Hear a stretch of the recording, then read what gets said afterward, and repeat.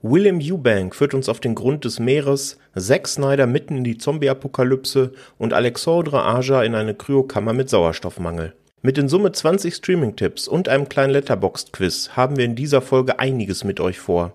Und eventuell reden wir sogar über den vielleicht besten Film des Jahres. Viel Spaß beim Streamcatcher.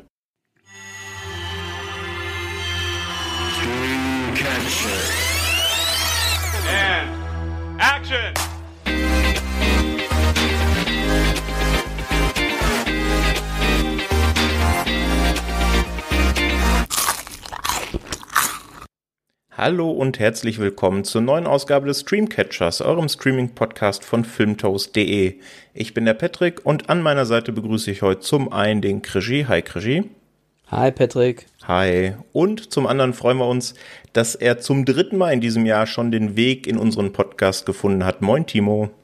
Moin Moin aus Flensburg. Moin Moin. Ja, wir haben heute ein für unsere Verhältnisse doch pickepacke volles Programm auf der Uhr. Deswegen würde ich vorschlagen, äh, ohne weitere Umschweife gehen wir auch direkt in Medias Res. Es erwarten euch heute natürlich wieder eine Menge Streaming-Tipps, ein kleines Quiz am Ende ähm, und ansonsten glaube ich auch noch die ein oder andere Diskussion, weil wir uns vielleicht heute nicht bei jedem Film und jeder Serie zu hundertprozentig einig sind, aber das schauen wir einfach mal. Und es ist ja schon fast eine schöne Tradition, Timo. Beim letzten Mal, als du bei uns zu Gast warst, ähm, hatte die erste Serie, die wir besprochen haben, etwas mit Fußball zu tun, passend zu deinem Podcast Lieber Bros.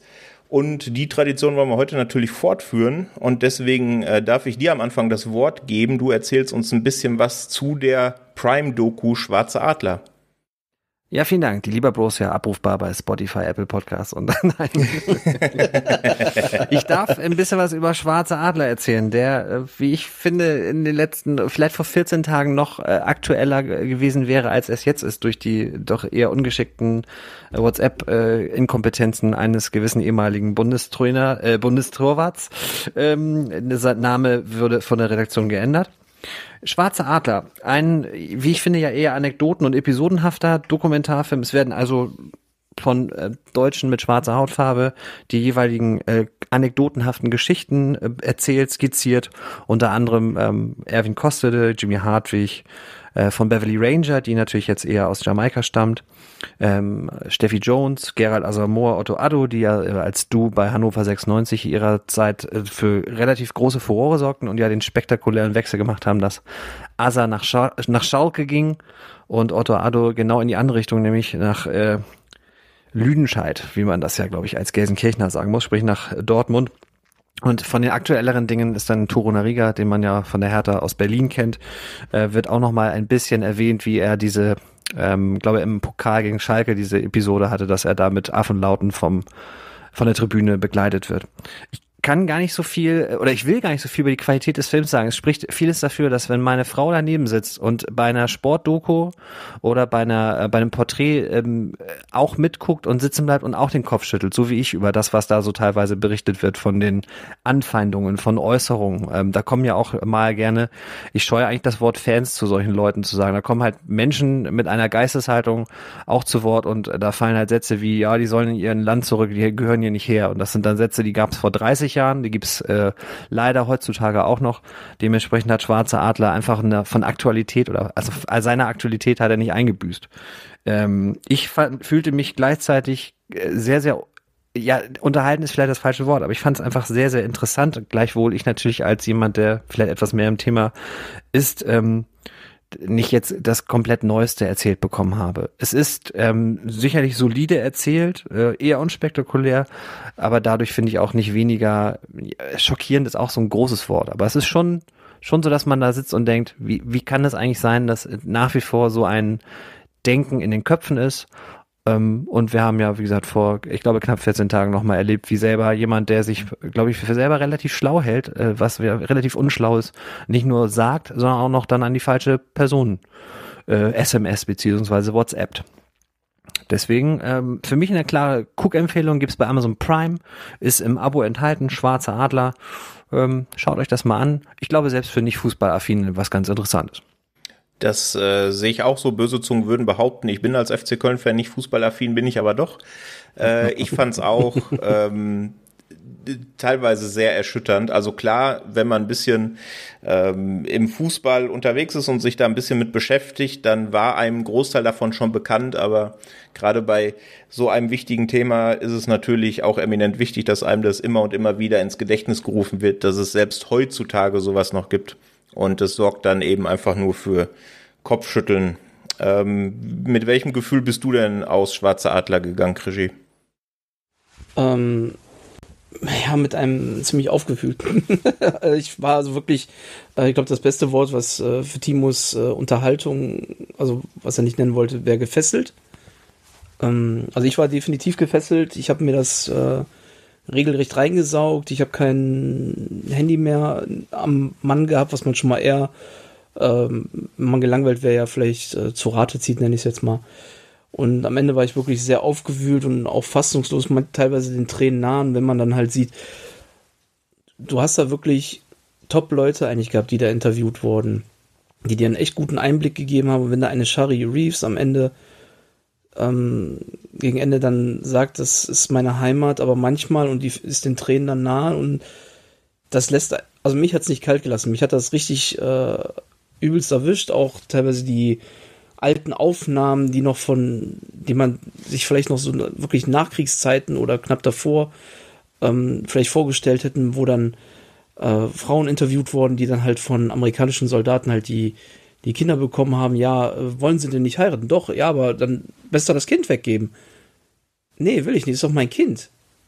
Absolut richtige Entscheidung nebenbei, aber ähm, wie empört der, der, der Interviewer, der Reporter da war. Und dann siehst du äh, dann so von 1957 und du denkst dir nur so, ey, also wie schon von euch ja gesagt wurde, das ist nach wie vor einfach, das war damals ein Thema, es ist heute ein Thema. Teilweise hat mich auch äh, so die Fernlage ein bisschen wütend gemacht, wenn dann äh, Gerald Asamoah, der da halt dann bei Schalke dazu Wort kommt, sagt, ich hatte hier nie das Gefühl, ich wurde immer als einer von denen angesehen und die dann applaudieren und denkst du so, ah ja, die müssen es ja irgendwie begriffen haben. Und eben jene sind es, die dann beim Jordan Torunariga da auf der Tribüne sitzen, die mit Affenlauten da. Ähm, es macht mich einfach nur stinkig und mhm. dem seine Reaktion war für mich absolut nachvollziehbar, weil irgendwann reicht es auch einfach. Es ist ja nicht das einzige Thema, was ähm, immer noch komplett altertümlich behandelt wird, was zu wenig behandelt wird, meines Erachtens. Da kommen ja noch Punkte wie ähm, Homophobie natürlich noch mit dazu, dass man sich dann nicht mal frei ja, zeigen kann, wie man liebt oder lebt, weil wenn du hast halt viel zu viele Dummköpfe in der Welt da draußen, das ist halt das Traurige und äh, ich sehe da eigentlich gar kein Problem, wo man, warum das nicht so klappen sollte, aber da bin ich auch einfach zu utopisch in meinen Gedanken, wo ich denke, naja, auf jeden Fall war ich sehr gefesselt. Ich sag Chapeau, also guckt es euch auf jeden Fall an. Es ist eine Top-Doku. Ich kannte vieles nicht, gerade die alten Sachen. Die aktuellen Sachen hat man natürlich mitbekommen. Hm. Und ja, auch so ein Anthony Buffo oder so, die man dann kennt, die habe ich nicht mehr live spielen sehen und das auch nicht so mitbekommen, wie mit denen da umgegangen wurde, so Ende 80er, Anfang 90er. Und das ist ja, um nochmal kurz einzuhaken, das ist ja schon der, der Beweis, wie, wie anders man damit auch umgehen kann. Denn Anthony Buffo war ja in seiner aktiven Zeit schon und auch danach eher so der Sprücheklopfer. Das heißt, der hat auch mal einen Spruch gebracht. Ähm, so nach dem Motto, äh, willst du nicht auf meiner Plantage arbeiten zu einem Gegenspieler, der ihn ein bisschen härter ja, genau. dran nimmt. Oder auch zu Fans. Oder Jimmy Hartwig, der sich vor die Fankurve äh, bei, äh, ich glaube, Neger, Neger, Schornsteinfeger oder so wird gerufen oder Husch, Husch, Husch oder solche Sachen und er stellt sich davor und äh, dirigiert halt den Mob äh, und, und äh, badet sich und suhlt sich so ein bisschen in so einer Art von Panzer, den er den entgegenstreckt, sagt dem Modi, ihr könnt mir hier gar nichts. Und man merkt trotzdem, gerade im Falle Toro Nariga, wie angefasst er noch immer bei sowas ist, wenn er, wenn er sowas mitbekommt. Ja, und das letzte, was ich auch sagen wollte, es ist halt wirklich auch hammerhart. Es ist nun keine, keine äh, 100 Jahre her, sondern vielleicht so gerade 50, wenn äh, Beverly Ranger unter dem Song einmarschiert im aktuellen Sportstudio. Schön und kaffeebraun sind alle Frauen aus Kingston Town und dann mhm. anmoderiert wird von, ich glaube, Ernst Huberti, der sagt, und hier ist der lebendige Beweis. Also es ist wirklich, daran merkt man, dass wir, auch wenn wir jetzt 2020 bzw. 2021 haben äh, und dann sowas sehen wie Torunariga, sowas merken wie, ähm, ich komme jetzt doch zur Causa Lehmann, dass das Denken einfach nach wie vor in den Köpfen drin ist und das wird auch nicht so ganz so schnell verschwinden. Egal was die Leistung, und da kann man ja Gerard Asamoah, und das sage ich als Dortmunder, doch auch hervorheben, der immer am Limit gespielt hat, der sich für jeden seiner Vereine immer reingefressen und reingewuchtet hat. Ähm, und dann, äh, so wie du es richtig gesagt hattest, der eigentlich immer sagte, ich bin einer von euch und dann aber erleben muss, dass äh, da auf der, und zwar auf der Tribüne, nicht in den Kurven, sowas vorfällt äh, bei einem Pokalspiel und Torunariga dort mit Affenlauten bedacht wird. Schwarze Adler, schaut euch an. Ja, also das äh, Urteil fällen wir nicht oft, aber da sind wir uns alle drei, denke ich, einig, das ist ein Schaubefehl. Ähm, insbesondere auch für gewisse milliardenschwere deutsche Mäzene, die sollten da auch reingucken und sich das zu Herzen nehmen. Ja. Da ist jetzt noch was angeschnitten. da sollte man mal hopp hopp das, äh, jetzt, Amazon einschmeißen, wie ich finde. Jetzt muss ich doch noch mal was da reinragen, äh, auch wenn du es gerade eigentlich so schön abgeschlossen hast, aber genau das ist ja der Punkt. Für den wurde von der Tribüne gegangen, um gegen so einen Hass anzugehen. Wann wurde das mal dafür gemacht? Wann wurde mal, wenn mit Affenlauten irgendjemand da bedacht wurde, einfach mal stehen geblieben und gesagt, wir spielen hier nicht mehr weiter, wir machen das nicht mehr? Die Eier will ich mal sehen. Ja, das passiert dann eben maximal aus der aktiven Fan Fanszene selber, aber im Boulevard findet sowas halt nicht statt, ne? Ja, und da, da fängt es ja schon an. Da, da muss das Zeichen gesetzt werden. Ja, so ist das. Aber also gut. Schwarze Adler bei Prime, ähm, Schaubefehl von uns dreien. Ähm, nicht nur für Leute, die fußballaffin sind. Äh, das sollte tatsächlich sich jeder mal anschauen. Jetzt sind wir natürlich mit einem kleinen Stimmungstief gestartet. Äh, wir haben aber noch eine zweite Doku äh, in der Hinterhand und mit der versucht uns der Krigi jetzt da mal ein bisschen rauszuholen. Ich weiß es nicht, ich habe es noch nicht gesehen. Erzähl uns doch mal was zu The Movies. Ja, The Movies, die Geschichte Hollywoods. Äh, ich war sehr Doku-affin letzten Monat. ähm, ist halt äh, die Doku, die praktisch äh, vom goldenen Zeitalter, wie man es ja so schön sagt, in Hollywood, also so grob ähm, 30er bis 50er Jahre, bis hin zur Gegenwart dann einige Abschnitte zeigt des amerikanischen Kinos, also halt eine Chronik, erzählt viele Geschichten, die hinter den Kulissen ähm, passiert. Und halt ist halt so eine Kombination aus Originalausschnitten aus diesen, aus vielen Filmklassikern und irgendwie dann Interviews von Leuten aus der Filmbranche, also die nicht nur jetzt einen Steven Spielberg, Tim Burton, Robert De Niro oder eine Julia Roberts beispielsweise, sondern auch welche, die einfach auch mit der Presse und diversen anderen aus der Technik dann noch mehr zu tun haben, die viele vielleicht dann gar nicht kennen, sage ich jetzt mal. Und zeigt dann halt viele dieser wichtigsten Momente eigentlich so von Hollywoods Filmen, wie das sich so entwickelt hat, wie die Industrie zwischen Kunst und Masse, also wie man den Markt eigentlich da steuern musste, da hin und her ähm, gesprungen ist, sage ich jetzt mal, wie man da versuchte, irgendwie diesen Balanceakt hinzukriegen und ja, einfach, wie das Ganze auch dann natürlich die Kultur beeinflusst hat, letzten Endes. Und das ist letzten Endes natürlich jetzt auch mal eine Hausnummer, die ich jetzt nenne, wo man sich durchguckt. Also nicht wie Schwarze Adler, da waren wir, glaube ich, bei zwei Stunden. Ähm, für die Doku, The Movie ist halt, wie gesagt, eine Chronik. Ich weiß nicht, ob ich jetzt gesagt habe, dass es eine Chronik ist. Es, wir reden hier von einer zwölfteiligen Doku-Reihe. Also es sind zwölf Teile, a circa 40 Minuten, die sich in je zwei Teilen mit den goldenen, bereits erwähnten goldenen Jahren, dem goldenen Zeitalter beschäftigt, die 30er bis 50er und danach immer in je zwei Teilen 60er, 70er, 80er, 90er und die 2000er ähm, durchgeht. Die goldenen Jahre war am Anfang, muss ich sagen, teilweise ein bisschen gehetzt. Ähm, gut, da muss man aber auch einfach mal sagen, da, da werden ja auch einfach mal drei Jahrzehnte durchgekaut. Das in aller Ruhe das durchzugehen, könnte auch ein bisschen schwierig werden, aber der Rest ist dann halt schon ein bisschen behutsamer, auch wenn die Masse an Filmen sich da schon ein bisschen gestreckt hat. Ich fand es insgesamt sehr, sehr ähm, interessant. Mich hat das auch, also es ist jetzt nichts, was jetzt einen fesseln würde oder irgendwie groß aufwühlen. Das ist jetzt nichts, was man, aber es ist interessant, einfach mal zu schauen. Macht auch einfach mal Spaß. Schon das Intro ist einfach so ein schöner Zusammenschnitt von diesem goldenen Zeitalter bis in die Gegenwart mit vielen Anleihen von Filmen. Das hat, ich habe da einfach mal am Anfang Pause gemacht und mal so ge geguckt, was ist denn da? Meine Frau raten lassen und weißt du, wo zu welchem Film das gehört. Das war schon ganz cool kann man auf in der ARD-Mediathek gucken. Ich meine, bis Oktober steht eigentlich bei jeder Folge. Zwischendurch habe ich mal gesehen Juli, aber das wäre jetzt auch ab jetzt noch sehr viel Zeit, wo man die sich mal in Ruhe angucken kann. Falls man die sich nicht direkt kaufen möchte, das wäre auch tatsächlich möglich, wo ab Juni, Juli, glaube ich, kommt es auf Blu-ray schon raus. Perfekt. Also The Movies in der ARD Mediathek könnt ihr das gerne nachholen. Ja, ähm, so viel zu den zwei Dokus, die wir heute im Gepäck haben. Ich würde sagen, schwenken wir rüber zu den Filmen. Und da starten wir mit einem kleinen Disney Plus Segment, denn Disney Plus ist gerade jetzt im Monat Mai doch recht stark, was Filme angeht, vor allem was Genrefilme angeht. Und da starten wir mal mit Underwater. Den gibt's seit dem 14. Mai bei Disney Plus zu sehen. Und das ist ein Film von William Eubank. Den kennt man vielleicht als Regisseur von The Signal oder auch als Regisseur von Love. Und Love ist für mich einer der unterschätztesten Sci-Fi-Filme überhaupt. Wer den noch nicht kennt, kann da gerne mal nachforschen. Der wurde maßgeblich ähm, erschaffen von Angels and Airwaves, was ja eine Rockband ist. Ähm, aber über den können wir vielleicht an anderer Stelle nochmal reden.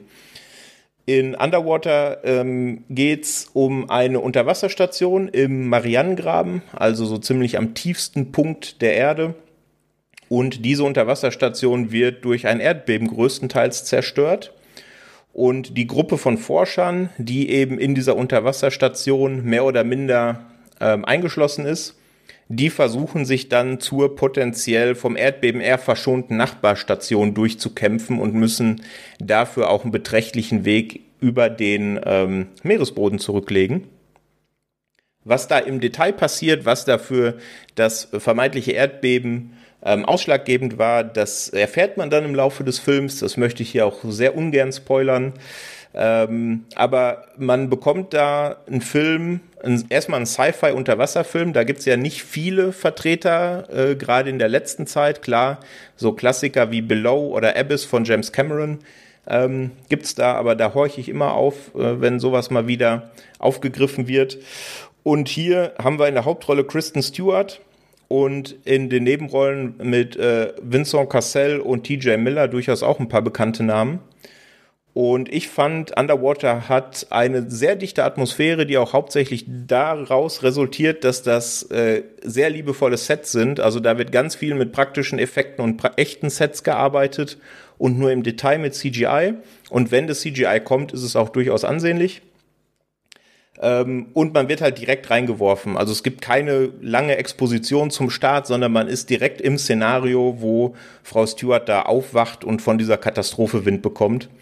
Ähm, also es geht direkt los. Und ich fand, das ist ein sehr kompetenter Vertreter aus diesem Sci-Fi-Unterwasser-Subgenre, wenn man so will.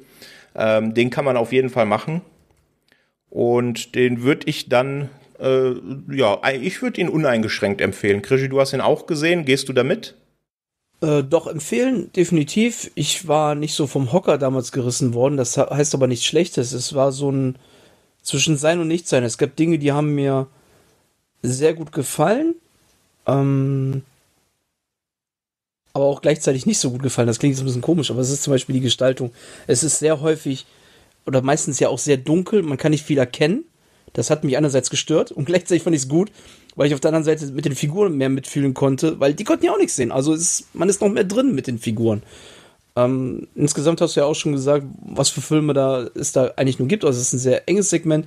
Ich hatte letzten Endes so ein ein bisschen Deep Blue Sea denken müssen, da hast halt also dieses Unterwasser, dann hast du an Alien, an Science, Cloverfield, das sind so alles Filme, die mir irgendwie durch den Kopf gingen letzten Endes, ähm, wegen schlechter, schlechterer Sicht oder wegen dem, was dahinter steckt, irgendwie hinter den Erdbeben, dieses Unbekannte, die Settings wie bei Alien, wie bei Deep Blue Sea halt unter Wasser, das, es hat schon Spaß gemacht, doch, definitiv kann man den empfehlen.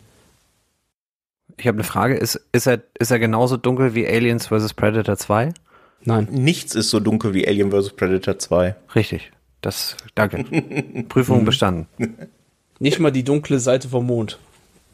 Ja, ich glaube, da haben wir damals in der, äh, in der Alien äh, und ne, in der Predator äh, äh Filmtoast Fokus Folge auch sehr ausgiebig drüber gesprochen. Ja, das ist schon bewundernswert, wie dunkel dieser Film ist. Siehst du was? Nee, nicht. Und du? Nö. Auch ist bei manchen Filmen auch besser, wenn man nicht so viel sieht.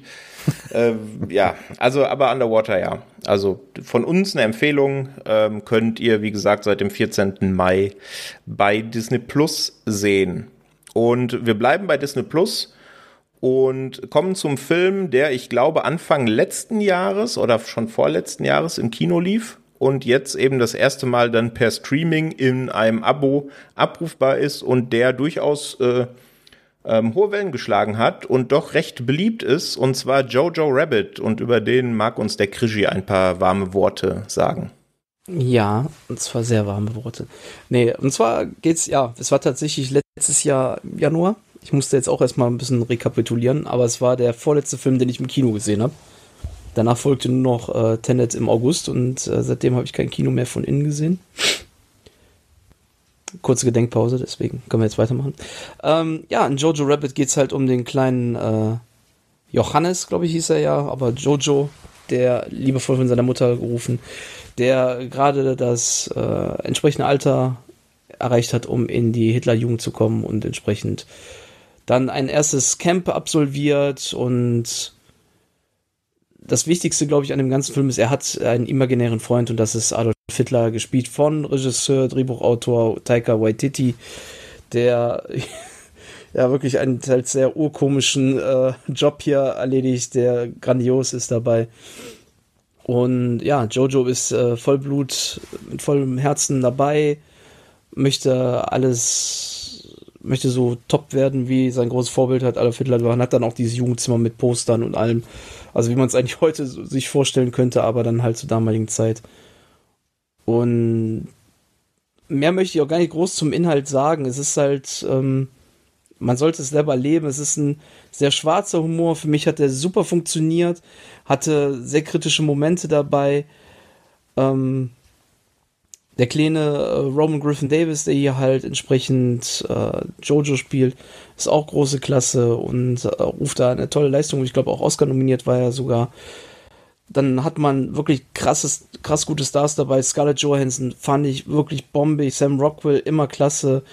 Und dann hat man diese einfach tolle Persiflage da eines Hitlers von Taika Waititi, der dem Film wirklich diese erst sehr erwartete Komödie verabreicht und dann wandelt sich aber der Film auch zunehmend. Natürlich, das wird hier nicht gefeiert, es wird natürlich immer wieder die negativen Punkte eingespielt und der Zuschauer sollte das auch verstehen. Wir hatten ja auch letztens so unseren Filmtus-Fokus zu Starship Troopers und da würde ich die beiden ungefähr in eine richtig, gleiche Richtung ähm, orientieren. Man, es geht hier um Satire. Es geht darum, dass der Film Sachen nicht beschönigt, sondern eigentlich aufdeckt, wie ja, wie soll ich es am besten ausdrücken? Ich möchte jetzt nicht sagen, die Leute waren dumm, aber vielleicht ein bisschen arg verblendet. Und der Film dreht auch diesen Spieß um von Spaß zu gewissermaßen Drama. Also es, mir ist das Lachen irgendwann mal doch sehr häufig dann im Halse stecken geblieben. Ähm, so genial wie der war, da war ich manchmal emotional beinahe überfordert mit der mit dem, was gezeigt wurde. Es war eine überzogene Leichtigkeit äh, natürlich immer zu sehen, aber wie die sich von der Realität dann ablöst, das verabreicht dem ganzen Film etwas, diesen, diesen Stimmungswandel, der dann da einfach einhergeht. Das hat sich komplett auf mich niedergeschlagen und ich kann einfach nur sagen, war echt top. Ich habe ihn auch schon zweimal inzwischen gesehen. Der wusste einfach bei mir die richtigen Knöpfe zu drücken. Es hat Spaß gemacht, den Darstellern zu, zu gucken. Ich fand, der hat zu Recht einen Oscar irgendwo bekommen und die Songauswahl ist großartig. Die Songauswahl ist wirklich Bombe. Ich habe wirklich sehr viel Spaß gehabt deswegen. Timo, irgendwelche Ergänzungen von deiner Seite? Ja, toller Score von äh, Michael Giacchino wird er, glaube ich, ausgesprochen. Furchtbar. Ich kann so italienische Heritage-Namen nicht. Ähm, ich sag mal, dass der mich genau wie Krischi auf der emotionalen Ebene auch gecatcht hat. Der komödiantische Teil, den ich auch gar nicht so sehr satirisch ähm, finde, sondern einfach eher als, als Komödie, die halt dieses Setting hat, ähm, der hat mich weniger, also ich habe weniger gelacht, als ich erwartet hätte, weil doch die Vorschusslorbeeren äh, relativ groß waren. Und ich habe den auch nicht vor äh, längerer Zeit gesehen, das ist erst so ein paar, vielleicht zwei, drei Monate her ähm, als der noch bei, bei Sky im Portfolio war, ebenso auch wie Underwater. Und ähm, der, der, ich würde mal sagen, die, die zweite, die dramatische, die tragische Hälfte, die ist dann aber auch, die hat ähm, emotionalen Punch und es gibt dann auch zwei ähm, wirklich extrem gut gefilmte, inszenierte Sequenzen, die ja, die man auch einfach gesehen haben muss. Das versuche ich jetzt so spoilerfrei wie möglich zu machen. Schwierig, ähm, ne?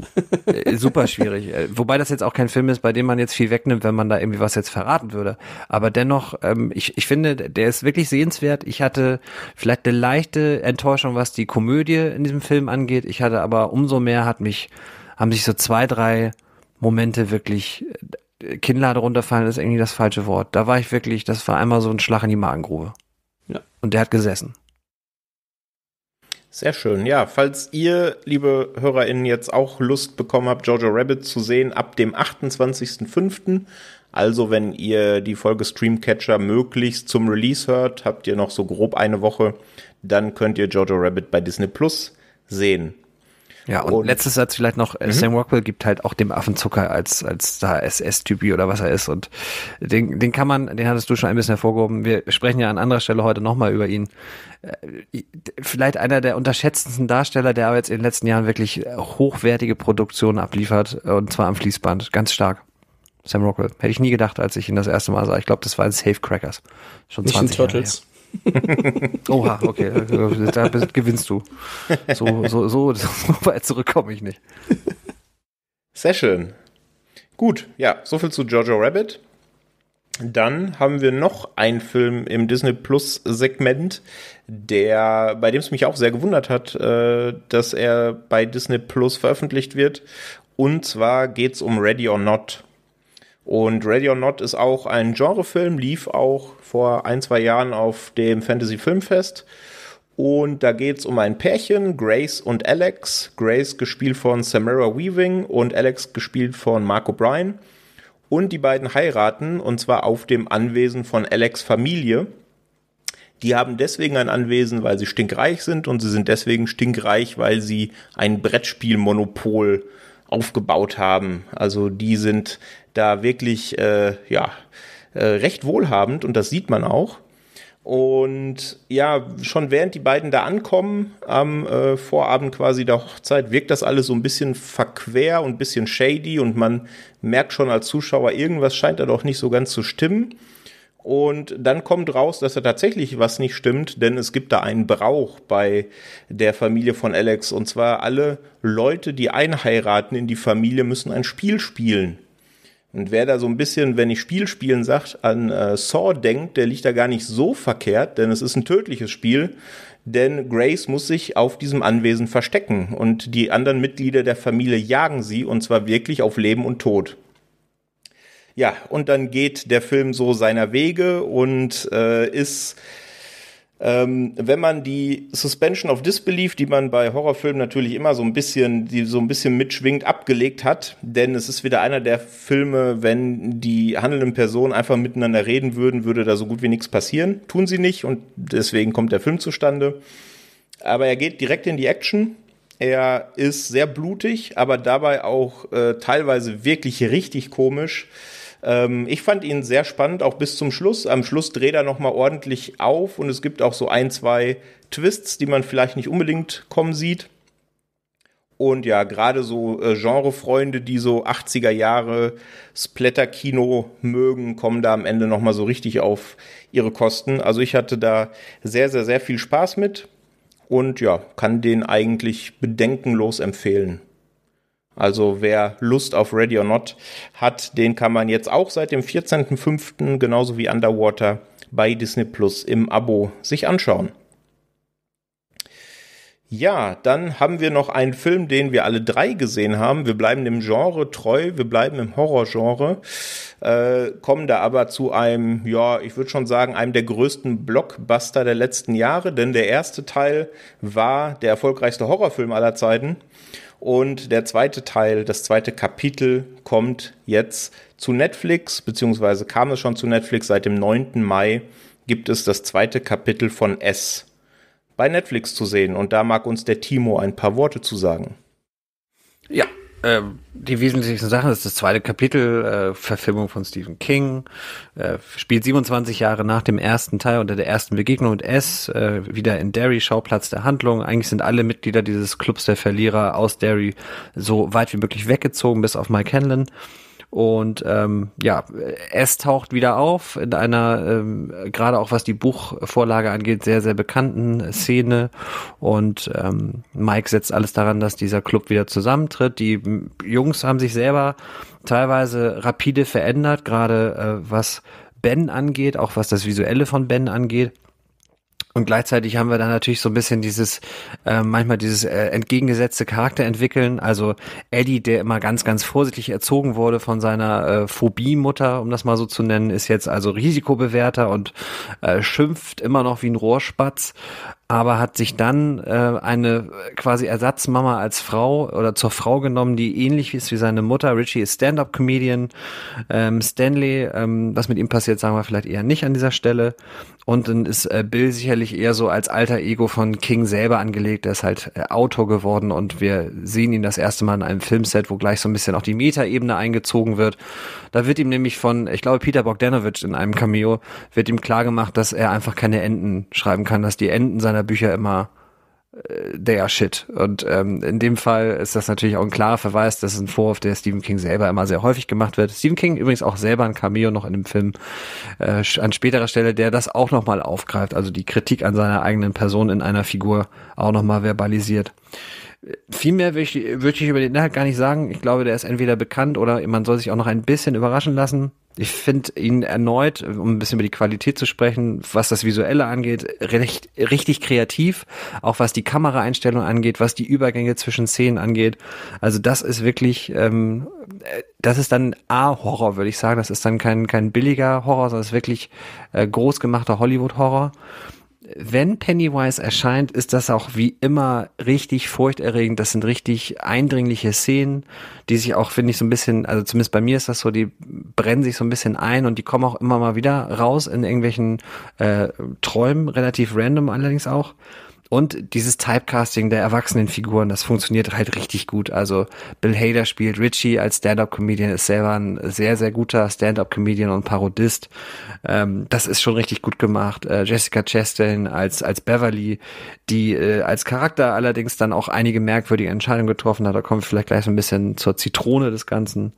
Ähm, denn das ist schon so, dass einige Charaktere, finde ich, was die Lebenswege angeht, schon so merkwürdige Entscheidungen getroffen haben. Also Beverly, die ja nun im ersten Teil, wer ihn noch nicht gesehen hat, Achtung, Spoiler-Alarm, ja einen äh, eher perversen, gewalttätigen, zum Missbrauch neigenden Vater hatte, hat sich das jetzt äh, als Ehemann quasi geangelt. Ähm, und warum Eddie so eine Frau als Ersatzmutti, die auch in der ersten Szene, er verabschiedet sich auch mit beim Mama oder Mom und oder irgendwie sowas, äh, warum er sich das jetzt genommen hat, äh, das bleibt wirklich mir als, als jemand, der so auf, auf schlaues Screen äh, und Storytelling steht, es erschließt sich nicht so ganz. Und mir ist es neben der CGI-Last ist es ein bisschen wenig Pennywise. Also ähm, die Drehbuchentscheidungen, die ja auch schwierig dadurch sind, dass der Roman selber diese beiden Zeitebenen immer wieder verknüpft und immer wieder hin und her springt. Das ist den Filmemachern halt nicht vergönnt, sondern sie haben sich jetzt dazu entschieden, das eher chronologisch zu erzählen. Und das ist so ein bisschen der, der große Malus, weil es doch erzählerisch, wir reden ja auch über einen Film, der für einen Horrorfilm ungewöhnlich lang ist. Ich glaube fast zwei Stunden und 50 Minuten mit Abspann. Ähm, das zieht sich dann an der einen oder anderen Stelle schon. Dennoch finde ich, sollte man äh, als Gesamtwerk auch erst Kapitel 1 und Kapitel 2 mal gesehen haben. Und das sagt jemand wie ich, der jetzt ja nicht der größte Horror-Afficionato ist, sondern der wirklich sich guten Horror gerne anguckt und mittelmäßigen bis schlechten Horror auch gerne mal links liegen lässt. Deswegen, ich könnte jetzt kostenlos bei Netflix im Abo sehen, nutzt die Gelegenheit.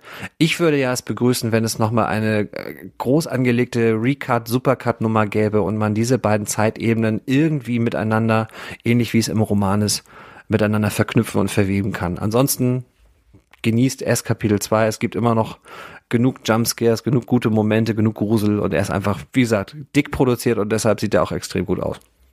Ja, gehe ich komplett mit. Ich äh, hatte da auch sehr viel Spaß mit. Ähm, ich fand die erste Hälfte deutlich stärker als die zweite. Mhm. Ähm, weil da eben in der ersten Hälfte klar äh, kommt der Club wieder zusammen und da erfreut man sich einfach, du hast es vorhin schon gesagt, Timo, an den großartigen Casting-Entscheidungen. Ähm, Und äh, alle Szenen mit Pennywise fand ich auch super. Es gibt ja auch schon diverse äh, Videos auf YouTube, wo die Leute zusammengeschnitten haben, in welchen Szenen Pennywise irgendwo im Hintergrund auftaucht oder irgendwo zu sehen ist. Das macht auch dann großen Spaß, den Film dann mit dem Wissen nochmal zu gucken. Hat ein paar gute Jumpscares, hat gute Effekte. Jede Szene mit Pennywise, du hast es vorhin gesagt, ist ein Highlight. Ich fand die Comedy teilweise ein bisschen deplatziert und ein bisschen zu viel. Aber mhm. ja, mein Gott, du hast es gerade gesagt, ne? ich meine, der geht fast drei Stunden. Ähm, da ist natürlich einiges drin und ich denke, da findet jeder so seinen Part, der ihm am ehesten gefällt, aber dann wahrscheinlich auch jeder einen Part, der ihm nicht so gut gefällt.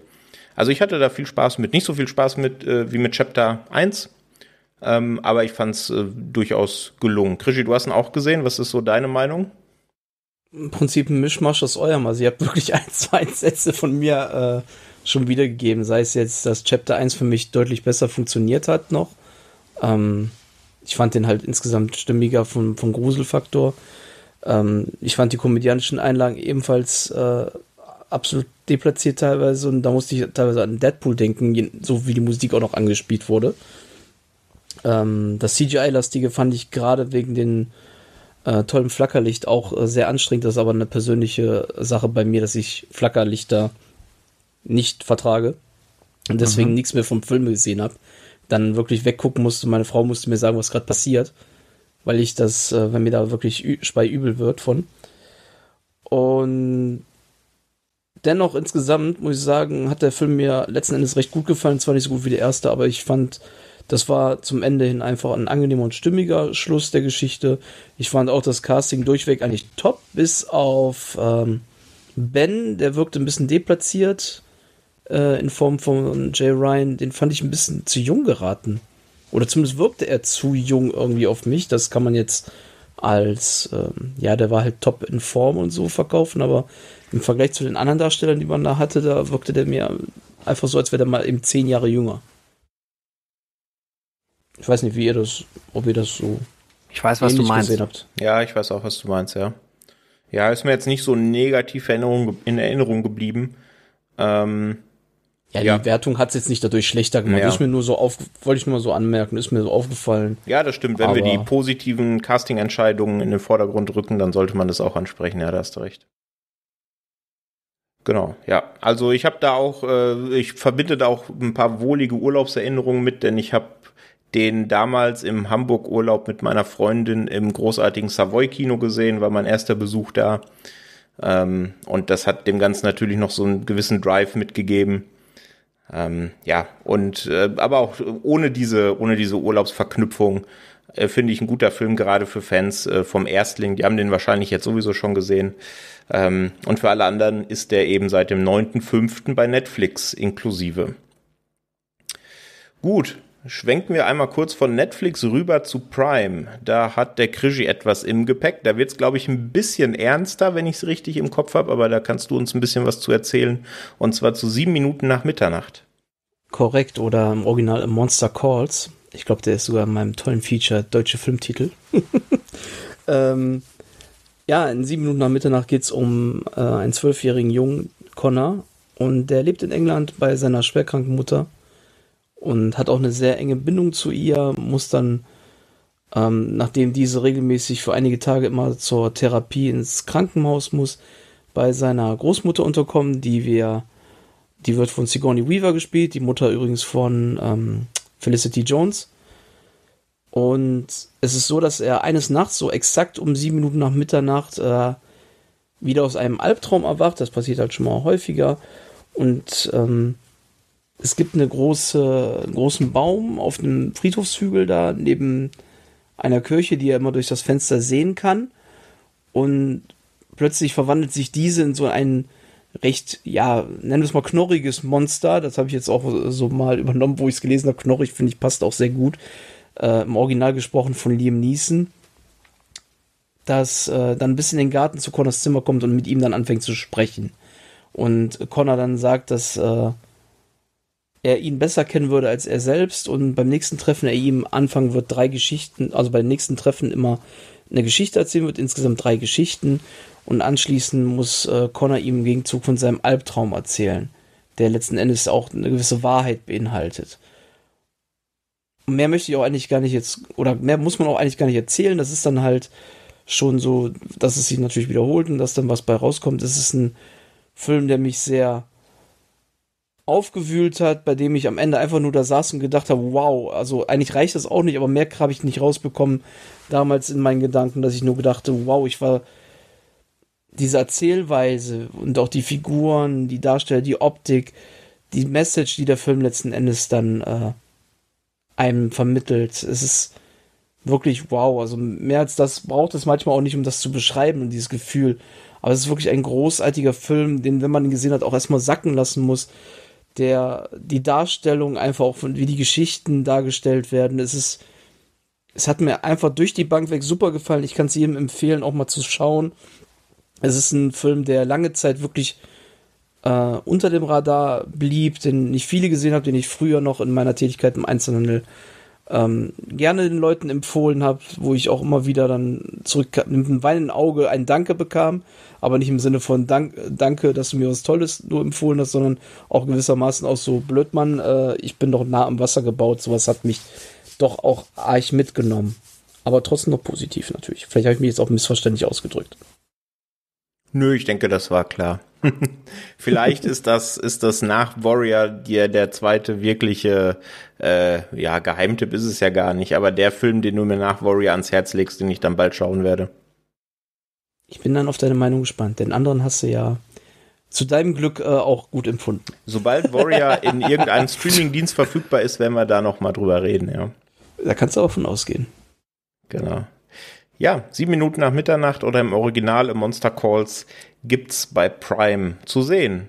Ebenfalls bei Prime zu sehen und ich glaube, äh, so viel kann ich schon mal vorwegnehmen, äh, wir schwenken ein wenig äh, von den höheren Wertungen zu den eher niedrigeren Wertungen, aber das kann uns der Timo am besten sagen, denn er hat sich Voyagers bei Prime angeguckt.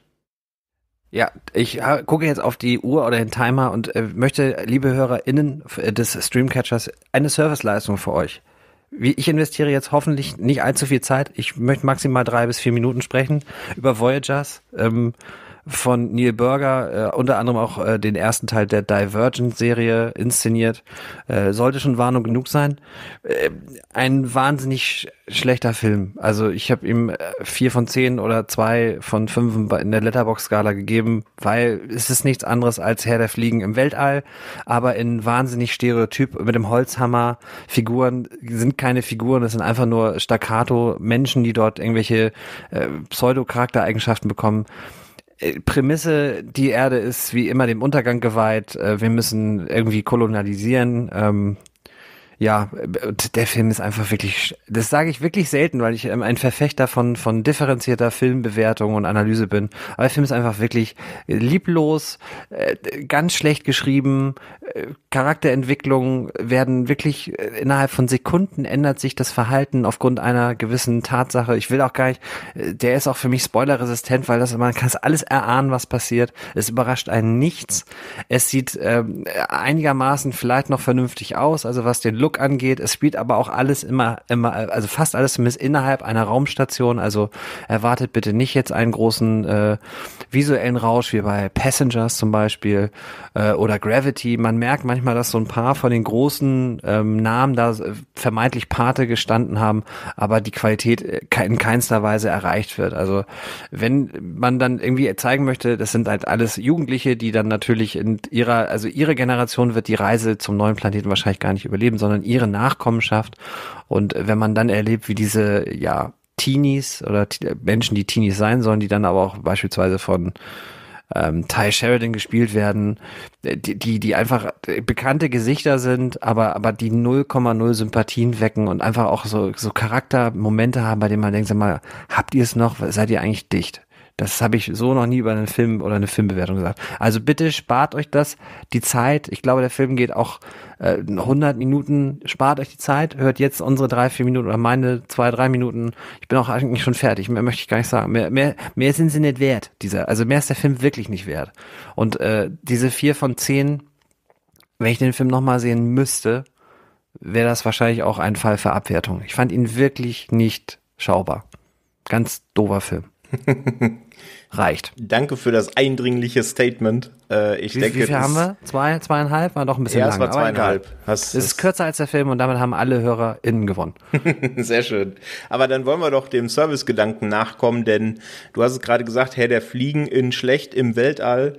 Ähm, das Original, also der Herr der Fliegen, wird am 18. Juni nochmal von Cape Light äh, neu aufgelegt. Zum einen in der ganz normalen Blu-ray und zum anderen in der 3-Disc Limited Collectors Edition. Also Blu-ray, Bonus Blu-ray und DVD im schicken Mediabook. Ähm, für gar nicht so viel Geld, da könnt ihr mal zu den Freunden von Cape Light rübergehen. Und ich denke, da habt ihr den durchaus besseren Deal, als eure zwei, zweieinhalb Stunden mit Voyagers zu verschwenden. Ja. Mhm. Dann versuche ich uns jetzt mal ein wenig aus dem Wertungstief zu holen. Mal gucken, ob ich es schaffe. Ich denke schon, denn äh, der Film hat mich durchaus sehr überrascht. Und zwar möchte ich ein wenig Werbung machen für Sörensen hat Angst. Das ist eigentlich eine ARD-Produktion, die läuft aber jetzt bei Netflix, nachdem sie bei der ARD-Premiere gefeiert hat. Und ist das Regiedebüt von Bjarne Mädel. Den kennt man am ehesten wahrscheinlich als Ernie aus der Serie Stromberg oder auch als Schotte vom Tatortreiniger.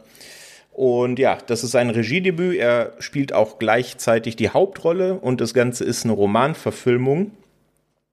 Und da spielt der Bjarne Mädel eben den namensgebenden ähm, Sörensen, der ist Kriminalhauptkommissar in Hamburg und äh, leidet aber dann schon eine ganze Zeit an einer Angst, Angststörung und glaubt, dass er dieser Angststörung so ein bisschen entfliehen kann, wenn er der Stadt entflieht und dem Trubel und dem Stress entflieht. Er zieht dann nämlich ins, aufs friesische Land. Da kennt sich am ehesten von uns wahrscheinlich noch der Ti- äh, Timo aus.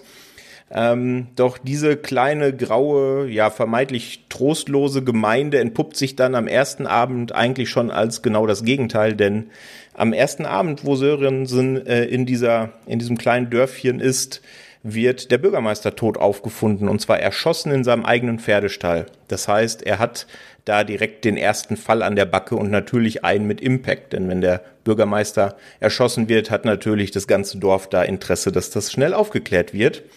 Ja, in solchen Dörfern sagt man allerdings Bürgermeister. Da ist das die Ah, Betonung, um mal den Lokalkolorit reinzubringen.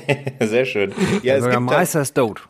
Es gibt tatsächlich auch recht viel Lokalkolorit, insofern ich das aus meine, mit meiner süddeutschen Brille äh, beurteilen kann. Also es hat eine ordentliche Prise Humor, allerdings würde man dem Film äh, Unrecht tun, wenn man ihn darauf beschränkt, denn es geht natürlich im Hauptplot drum, diesen äh, potenziellen Mord aufzuklären.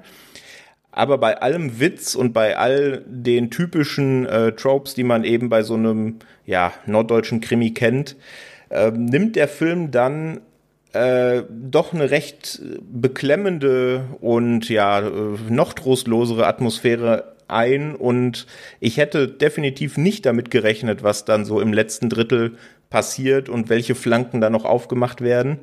Also man sollte da nicht den Fehler begehen und denken, ja, Bjarne Mädel, norddeutscher Krimi, ARD, das ist doch irgendwie so ein, einfach nur so ein feinhumoriger TV-Abend, denn das ist es keineswegs, dafür ist das Drehbuch viel zu gut. Und ja, dafür geht er am Ende noch ein paar extra Meilen, würde ich sagen. Also den möchte ich äh, fast schon bedenkenlos empfehlen. So viel zu Sörensen hat Angst, äh, könnt ihr und solltet ihr bei Netflix reinschauen. Der lacht mich auch schon seit ein paar Wochen an. Ja, dann, dann rein da. Jetzt hasst du mich. Jetzt hat er mich und jetzt hasst du mich. Sehr schön. Gut, ja, äh, du hast gerade schon das Wort ergriffen, das äh, will ich dir nicht nehmen. Du erzählst uns was zu ähm, dem einzigen Film, den wir heute von Sky im Angebot haben, und zwar der Fall Richard Jewell. Ja, ich möchte vor Dingen erstmal warnen, dass man folgenden Text bitte nicht also ich lese ihn auch absichtlich so vor, damit es so wirkt. Und es ist genau das, was das nicht ist. Ein Mann, der eine Bombe entdeckt, wird vom Held der Nation zum Attentäter und Ziel der Regierung. Nach einer wahren Begebenheit, der Fall Richard Jewell, jetzt streamen. Das ist eine Sky-Ticket-Werbung und man kann diesem Film nicht äh, weniger nahe kommen als mit dieser reißerischen Stimme und dem Text, der dort, ja, das, den Antext, äh, Text sozusagen bildet. Das ist ein sehr, sehr feiner, kleiner Clint Eastwood-Film, ähm, der Name an sich steht meiner Meinung nach immer für Qualität, was das Visuelle angeht, sowohl als auch das Inhaltliche. Es geht in der Tat um einen Mann, der ähm, äh, mit dem Namen Richard Jewell, der eine Bombe während der Atlantik, äh, Atlantik sag ich schon, während der Olympischen äh, Sommerspiele in Atlanta im Jahre 1996 eine Bombe im Fenway Park entdeckt. Ähm, Fenway Park ist Quatsch, das ist in Boston, äh, Name entfällt mir jetzt gerade, weiß ich nicht, habe ich auch nicht notiert. War das Und, Olympiapark? Ähm, wie bitte? Haben die das nicht Olympiapark dann genannt? Irgendwie? Ja, das hat irgendwie noch so einen speziellen Namen, aber das weiß ich ehrlich Ist auch egal. wirklich gerade nicht. Ähm, äh, wir haben Richard Jewell in einer zwei kleinen Eröffnungsexpositionsszenen als eher spleenigen, äh, deutlich auch übergewichtigen, komischen Kauz kennengelernt, der so eine Art möchte gern Cop sein möchte, es aber auch von seinem äh, mit Verlaub Intellekt her nicht ganz zustande bringt und dadurch auch immer wieder mal aneckt. Und ja, dieser dieser manchmal auch als Wichtigtour abgetane ähm, Einzelgänger, der auch noch bei seiner Mom wohnt, der findet dann in der Tat diese Bombe und äh, sorgt dafür, dass also, ich glaube, zwei oder ein Mann, äh, ein Mensch stirbt oder aber zahlreiche Verletzte, weil es auch eine Splitterbombe ist. Aber der rettet äh, unheimlich viele Leben und wird als Held gefeiert. Nur braucht das FBI halt sehr schnell einen Schuldigen und so gerät er auch aufgrund seiner seines Einzelgängertums und seiner komischen oder merkwürdigen Art gerät er ganz schnell in die Schusslinie und ist halt auch so naiv in vielen Sequenzen, dass er das von Anfang an nicht so richtig durchblickt und immer mal wieder blickt, äh, blitzt es so durch, dass hier auch eine so dezente Systemkritik von Eastwood ähm, dargeboten und gezeigt wird, aber nie so komplett mit diesem erhobenen Zeigefinger, was ich sehr angenehm finde. Ist ein sehr ruhiger Film, sehr bedächtig inszeniert, aber gleichzeitig niemals langatmig oder langweilig. Und ich hatte ihn vorhin schon genannt, Sam Rockwell, ähm, der diesen Richard Jewell kennenlernt, als er noch nicht äh, sozusagen äh, Held der Nation geworden ist, sondern ihn von vorher kennt, sich als, ganz schnell als sein Anwalt anbietet und äh, wirklich ganz, ganz viele tolle Szenen hat, der einfach auch immer wieder gegen diese Windmühlen, dieses stoischen, äh, naiven Jewel ankämpfen muss, der immer wieder so denkt, ja, das System, also das wird doch schon alles funktionieren und der ihm immer wieder klar machen muss, äh, jetzt so nach dem Motto, jetzt halt mal die Klappe und sag jetzt mal bitte nichts, ich muss dich hier aus der Schusslinie bringen wirklich ein ganz, ganz toller, äh, ich manchmal sage ich, ein kleiner, großer Film wie Nomadland ist für mich ein kleiner, großer Film. Für mich ist Richard Jewell so ein großer, kleiner Film, weil natürlich äh, John Hamm unter anderem auch noch in der Besetzung. Die Besetzung, Kathy Bates liest sich, ein paar A-Liste dabei. Clint Eastwood ist sowieso Clint Eastwood mit seinen 90 Lenzen. Aber es ist wirklich ein ganz, ganz kleiner, feiner Film geworden. Äh, Ich, ich habe ihn im Jahresrückblick schon empfohlen, äh, Anfang diesen Jahres für 2020 und bin heidenfroh, dass er jetzt bei Sky nochmal ist, denn ich habe ihn schon ein zweites Mal gesehen, seitdem er im Programm ist und ich hätte, je mehr ich jetzt drüber rede und ich mache jetzt auch sicherheitshalber Schluss, ich könnte noch mehr mich heiß reden auf diesen Film, weil das wirklich ein ganz, ganz toller, fantastischer Film ist. Sehr schön. Krischi, hast du noch Ergänzungen? Du hast ihn auch gesehen, ne? Ja, genau. Ähm, mit meinem Unwissen über die Ereignisse war ich auch regelrecht in den Bann gezogen und auch dauerhaft gefesselt von dem Film. Und ich fand auch Rockwell, der war äh, so ein geiler Unterhaltungsfaktor, das hat so Spaß gemacht. Ähm, Paul Walter Hauser in der Hauptrolle als Richard Jewell, den habe ich ja auch dieses Jahr schon mindestens zweimal unter anderem für Cobra Kai und bei Atonia erwähnt. Der ist so maßgeschneidert dafür die Rolle und Kathy Bates, die war wirklich, fand ich auch wirklich überragend gut.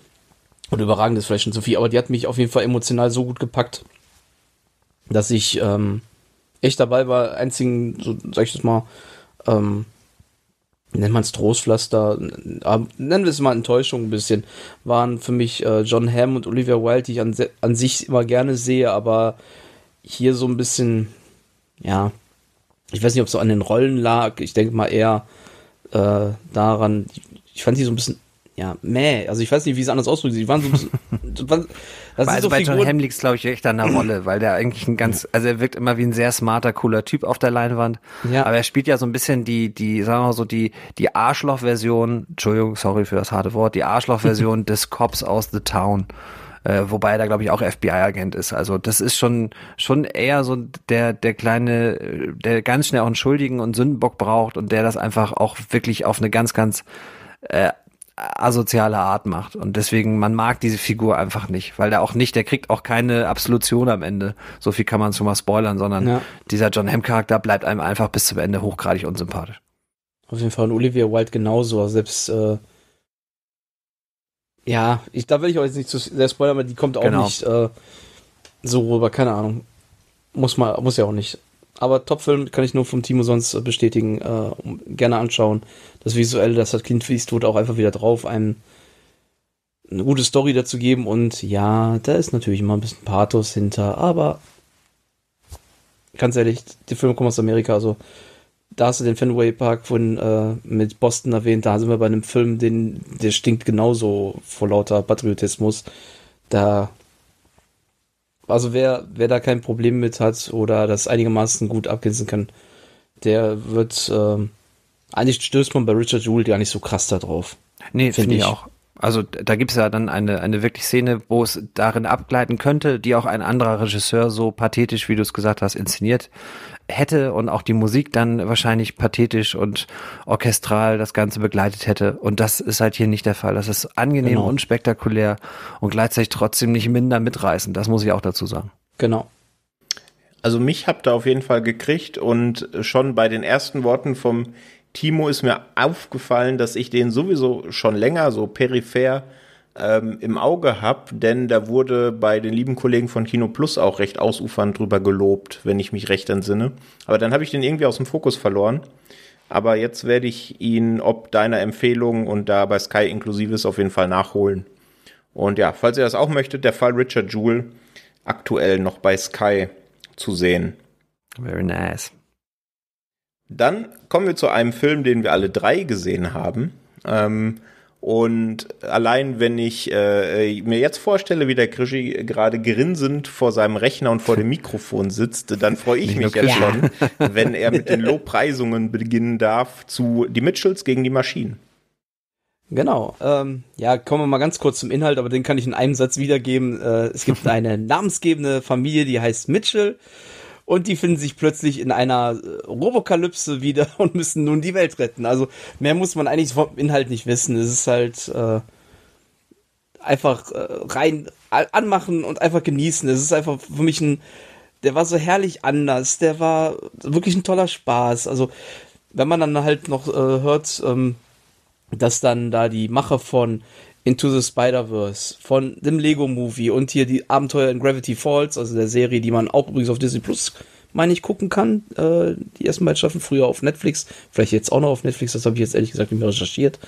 Ähm, auf jeden Fall, wenn diese, wenn du diese drei Namen hörst und weißt, die Macher kommen da irgendwie zusammen, das kann eigentlich ja nur was Gutes werden. Und ich fand es einfach auch so wirklich herrlich erfrischend. Äh, in jeder Minute, in der der Film läuft, da ist es einfach immer noch mehr Spaß und der Humor, der Stil, diese wirklich andere Art von Animationsfilmen. Es ist einfach toll. Also es ist einfach toll, einfach mal was anderes zu sehen als Disney, Pixar, Illumination, DreamWorks, die ja immer irgendwo das Gleiche einem da servieren. Immer die Schablone A draufsetzen und dann kommt da sowas daher und setzt sich da einfach mal richtig herrlich ab und überzeugt nicht minder. Ist sogar aufgrund dieser Frische einfach komplett ich würde, ja, besser, ich tue mich da ein bisschen schwer, aber doch, ich fand es besser als vieles andere, was ich von den äh, genannten Firmen zuletzt gesehen habe. Gut, ich klammer jetzt mal Pixar mit Soul ein bisschen aus, ist nochmal ein anderes Thema, ganz andere Art von Film. Aber wie bereits gesagt, herrlich, spaßig, äh, dazu noch ganz, ganz viel Herz, äh, dass man beinahe teilweise manchmal zu Tränen gerührt ist. Nichts, was man irgendwie nicht erahnen kann und trotzdem, es macht, es ist toll. Also, toll geskriptete Charaktere, alle mit Her alle, die man ins Herz schließen kann und ja, wo man auch irgendwo, ich würde jetzt mal sagen, auch an diese sehr viel Gehaspel gerade, ähm, in den Charakteren erkennt man auch vielleicht so den einen oder anderen so aus dem eigenen Umfeld wieder. Vielleicht man sich selber oder so in einer gewissen Eigenart. Ähm, und das macht es noch sympathischer, da fühlt man sich noch mehr rein. Also absolut, ähm, ja, ans Herz gelegt. Guckt ihn euch an, wenn ihr es noch nicht getan habt. Und ich habe bereits schon zweimal geschaut. Ich kann wirklich nur wärmstens weiterempfehlen. Schaut ihn euch an. Es ist wirklich toll. Der ist so herrlich abgedreht und gleichzeitig so, ja, toll, toll. Jetzt hast du äh, bei deiner Lobpreisung schon ein wenig meine wahnsinnig smarte Überleitung unwissentlich gespoilert, denn Timo, ich wollte dich fragen, in welcher Figur von den Mitchell siehst du dich denn am ehesten? Kein Kommentar. Dann erzähl was zum Film. Ich bin der, bin der Roboter, dritte Reihe links. Äh, ich habe den ja äh, als letzter aus unserer Runde gesehen und finde, aber äh, also ihr hattet mich ja komplett hooked nach eurer ersten Lupulei in unserer WhatsApp-Gruppe und ja, ich habe den dann in einer Phase gesehen, wo eigentlich sehr viele andere Dinge zu erledigen waren, aber es musste dann einfach sein, weil der so so lustig ist und den Rest, den hat Krischi eigentlich schon, eigentlich hat er alles gesagt. Dieses dieses Herz, diese Charaktere, die er da hat, also ne, da hätte sich der von mir schon erwähnte Voyagers echt nur eine Mühe von abschneiden müssen, dann hätte er ein bisschen Qualitätssteigerung erfahren. Äh, die Charaktere sind richtig gut geschrieben, wie ich finde. Es hat alles so einen runden Erzählbogen. Das heißt, die Character Arcs sind alle vernünftig zu Ende erzählt. Deswegen äh, cooler Score auch dazu. Äh, ich bin ja der der Score-Fachmann äh, im äh, Film-Podcast-Gewerbe. Ich meine das Gefühl, weil ich das immer wieder äh, reinlabere, aber es ist wirklich so, es ist eine coole Musik. Ähm, ist gut animiert und na klar gibt's das ein oder andere reale Vorbild, auch was den einen gewissen Erfinder einer App beziehungsweise eines äh, Tech-Unternehmens angeht.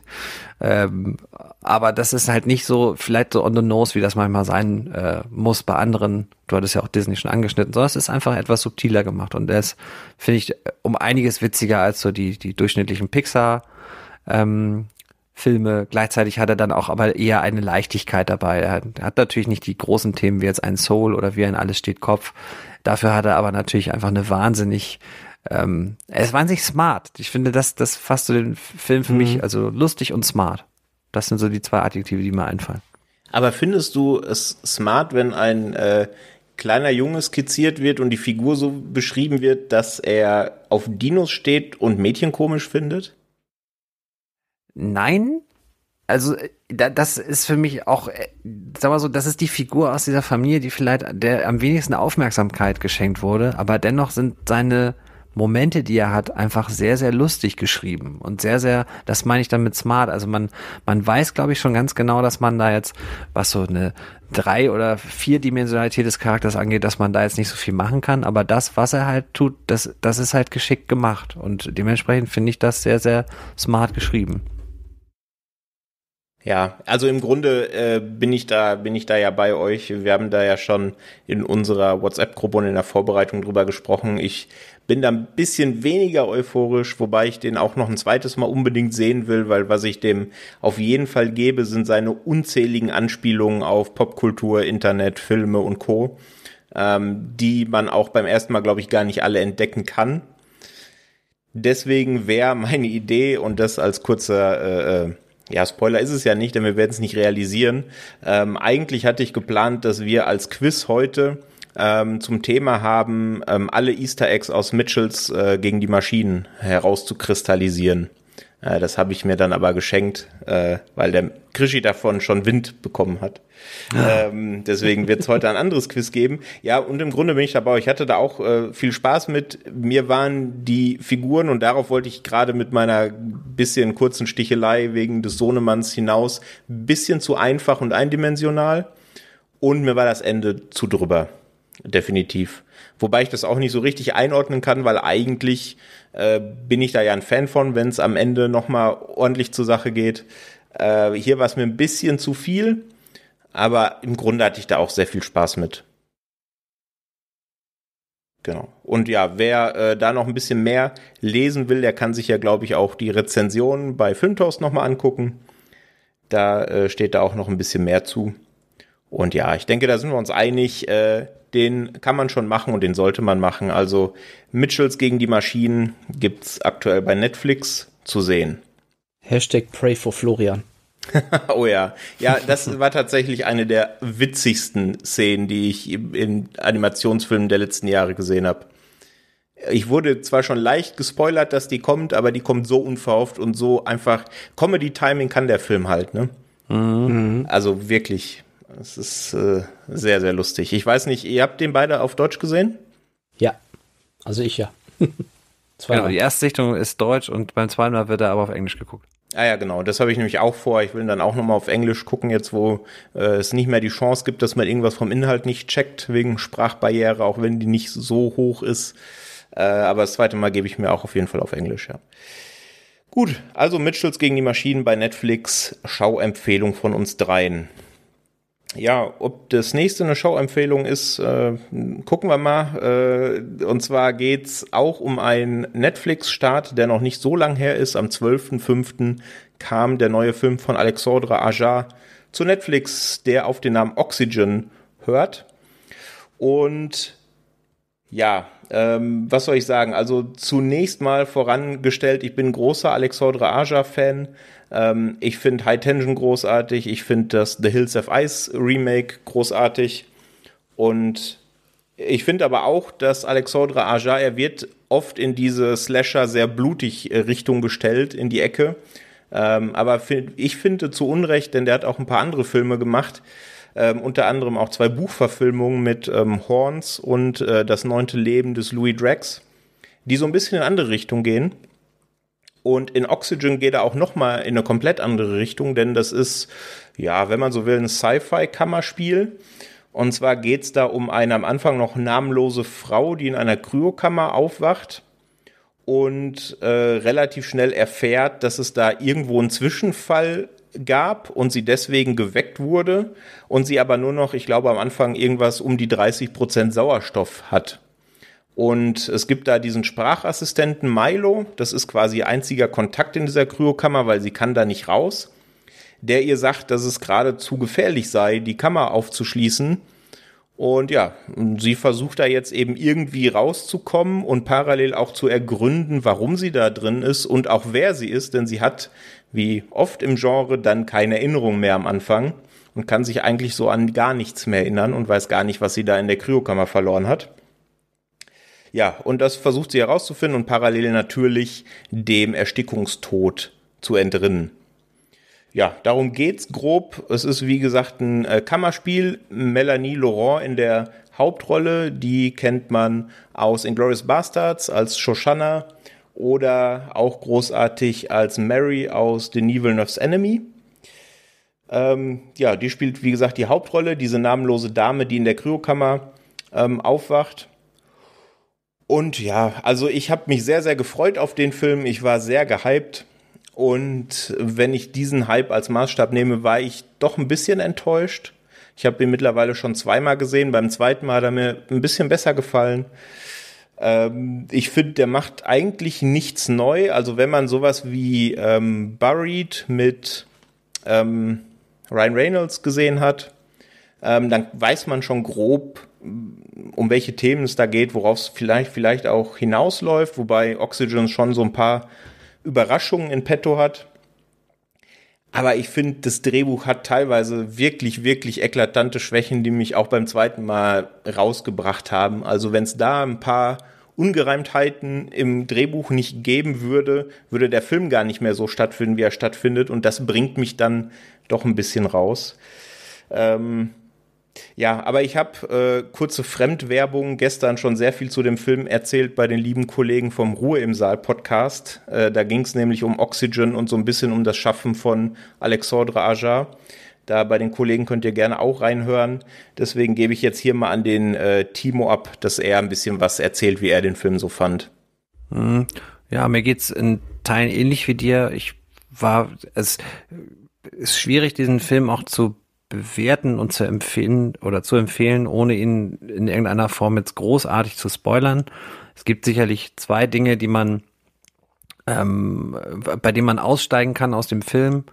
Und bei der einen Sache davon bin ich auch ausgestiegen. Mich hat er dann wirklich nicht mehr so wahnsinnig großartig interessiert. Äh, ich fand auch viele Andeutungen äh, schwierig. Also es gibt so ein bisschen eine Andeutung einer einer Bedrohung, wie du ja schon gesagt hattest. Und wir sehen dann in solchen, ja, ob es Rückblenden oder Erinnerungen sind, weiß man nicht so ganz genau.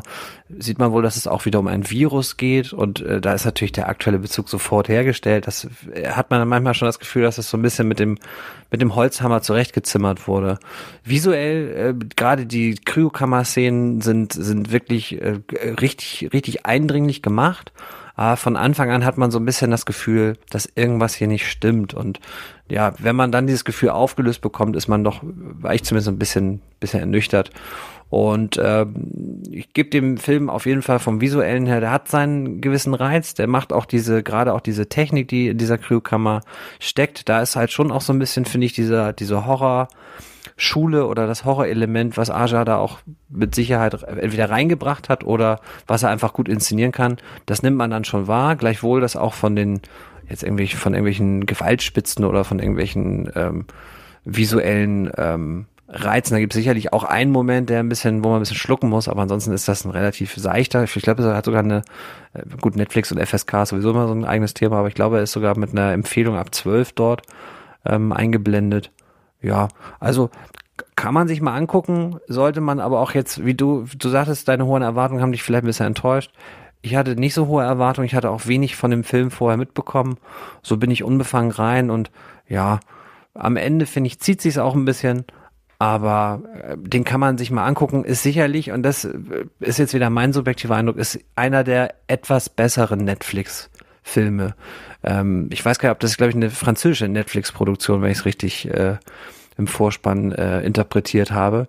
Und nichts eingekauftes, sondern wirklich mal was, was auch von, von ihnen selber stammt. Ja, wie gesagt, ist, äh, manchmal sagen wir auch, ist vielleicht auch gar nicht so schwer, eine der besseren Netflix-Filmproduktionen zu sein, äh, zumindest aus dem eigenen Hause mit der vollen kreativen Freiheit. Ähm, aber man sollte dann einfach auch nicht so viel erwarten. Ja, genau. Also das war, das Drehbuch lag da schon sehr, sehr lang im Giftschrank. Das wurde geschrieben von Christy Leblanc. Und ja, dem hat sich dann eben Aja angenommen und hat das dann für Netflix verfilmt. Also ich will da gar nicht zu negativ klingen, den kann man schon machen, gerade im Vergleich zu anderen Netflix-Produktionen, die dann doch schon deutlich mehr von der Stange sind, jo. hat man da schon Spaß. Also, Krischi, ich hoffe, wir haben dir den jetzt nicht madig geredet.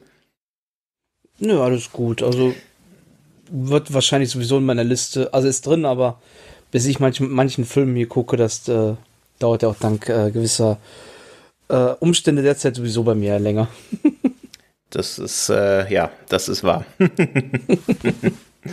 Gut, also Oxygen bei Netflix zu sehen seit dem 12.05. Jetzt kommen wir zu einem Film, den bisher nur der Timo von uns gesehen hat. Und das hat einen Grund, denn der Timo durfte äh, bei den Kollegen vom Telestammtisch drüber sprechen. Und der kommt auch erst am 21.05. zu Netflix ähm, hat aber im Vorhinein für Netflix-Verhältnisse schon einen gewissen Hype erfahren, würde ich sagen, was nicht zuletzt am äh, Mann auf dem Regiestuhl äh, liegt, würde ich behaupten. Erzähl uns doch mal was zu Army of the Dead.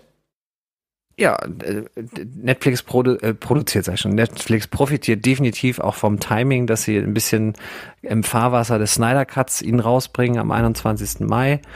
Ähm, Zack Snyder kehrt gleichzeitig so ein bisschen zurück zu seinen Spielfilmwurzeln, der ja mit dem Dawn of the Dead Remake 2003, glaube ich, äh, seine Hollywood-Premiere feierte. Äh, ich will auch gar nicht so viel reden, weil man äh, auch noch nicht so viel verraten soll. Ähm, ich würde dann, wenn er Freitag auch wirklich äh, released wird, würde ich noch mal, äh, müsste man quasi noch mal mich reinschneiden und dann würde ich mehr erzählen man bekommt aber definitiv, das ist so mein Eindruck, den ich doch schon mitteilen möchte, weil ja auch die Folge auch, glaube ich, Freitag ausgestrahlt wird, kann ich das ja auch machen. Man bekommt all das, was man an Zack Snyder mag.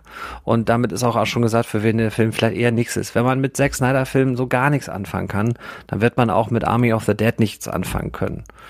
Ähm, die Besetzung ist so eine klassische Netflix-Produktionsbesetzung. Man hatte nämlich ähm, ziemlich bekannte Gesichter und sehr internationale, sehr internationalen Cast.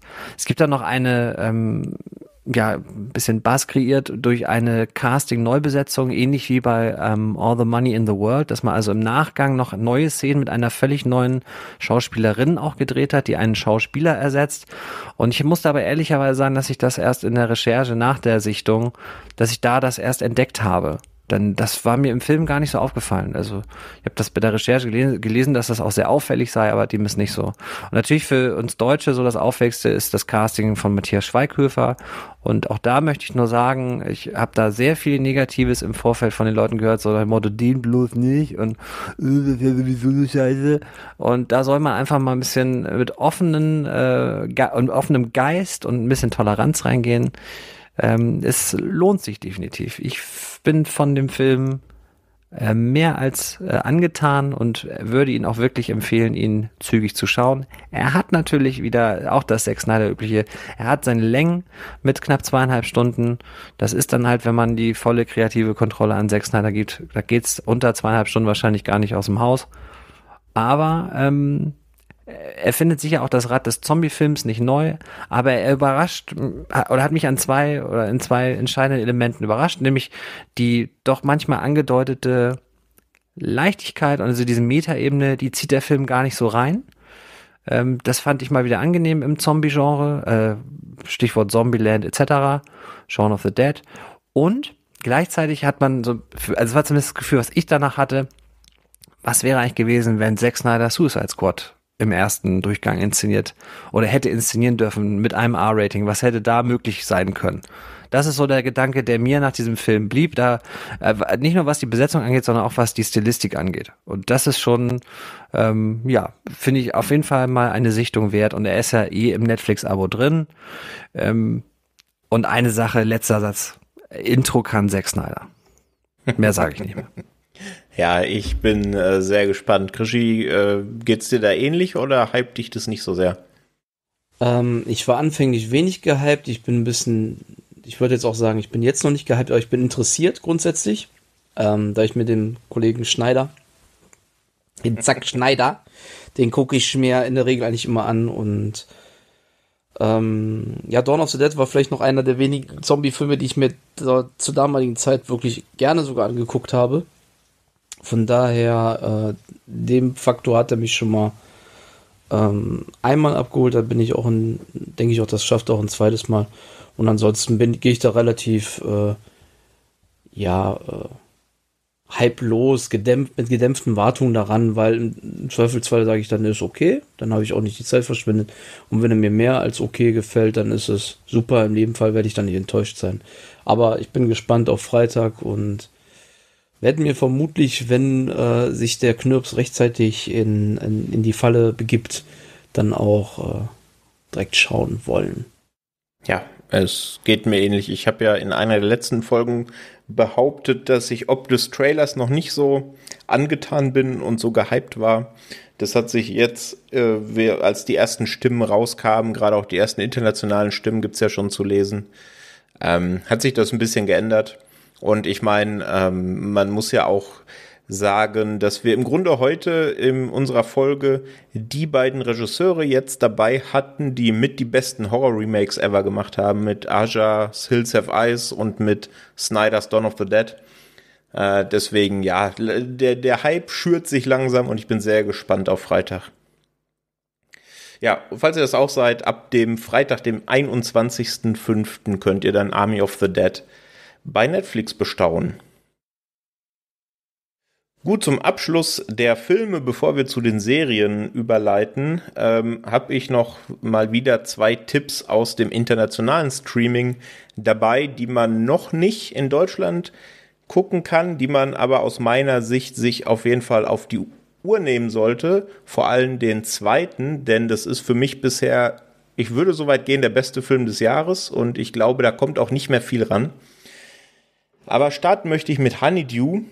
Ähm, das ist ein Regiedebüt von Devereaux Milburn. Ich hoffe, ich habe den Namen richtig ausgesprochen.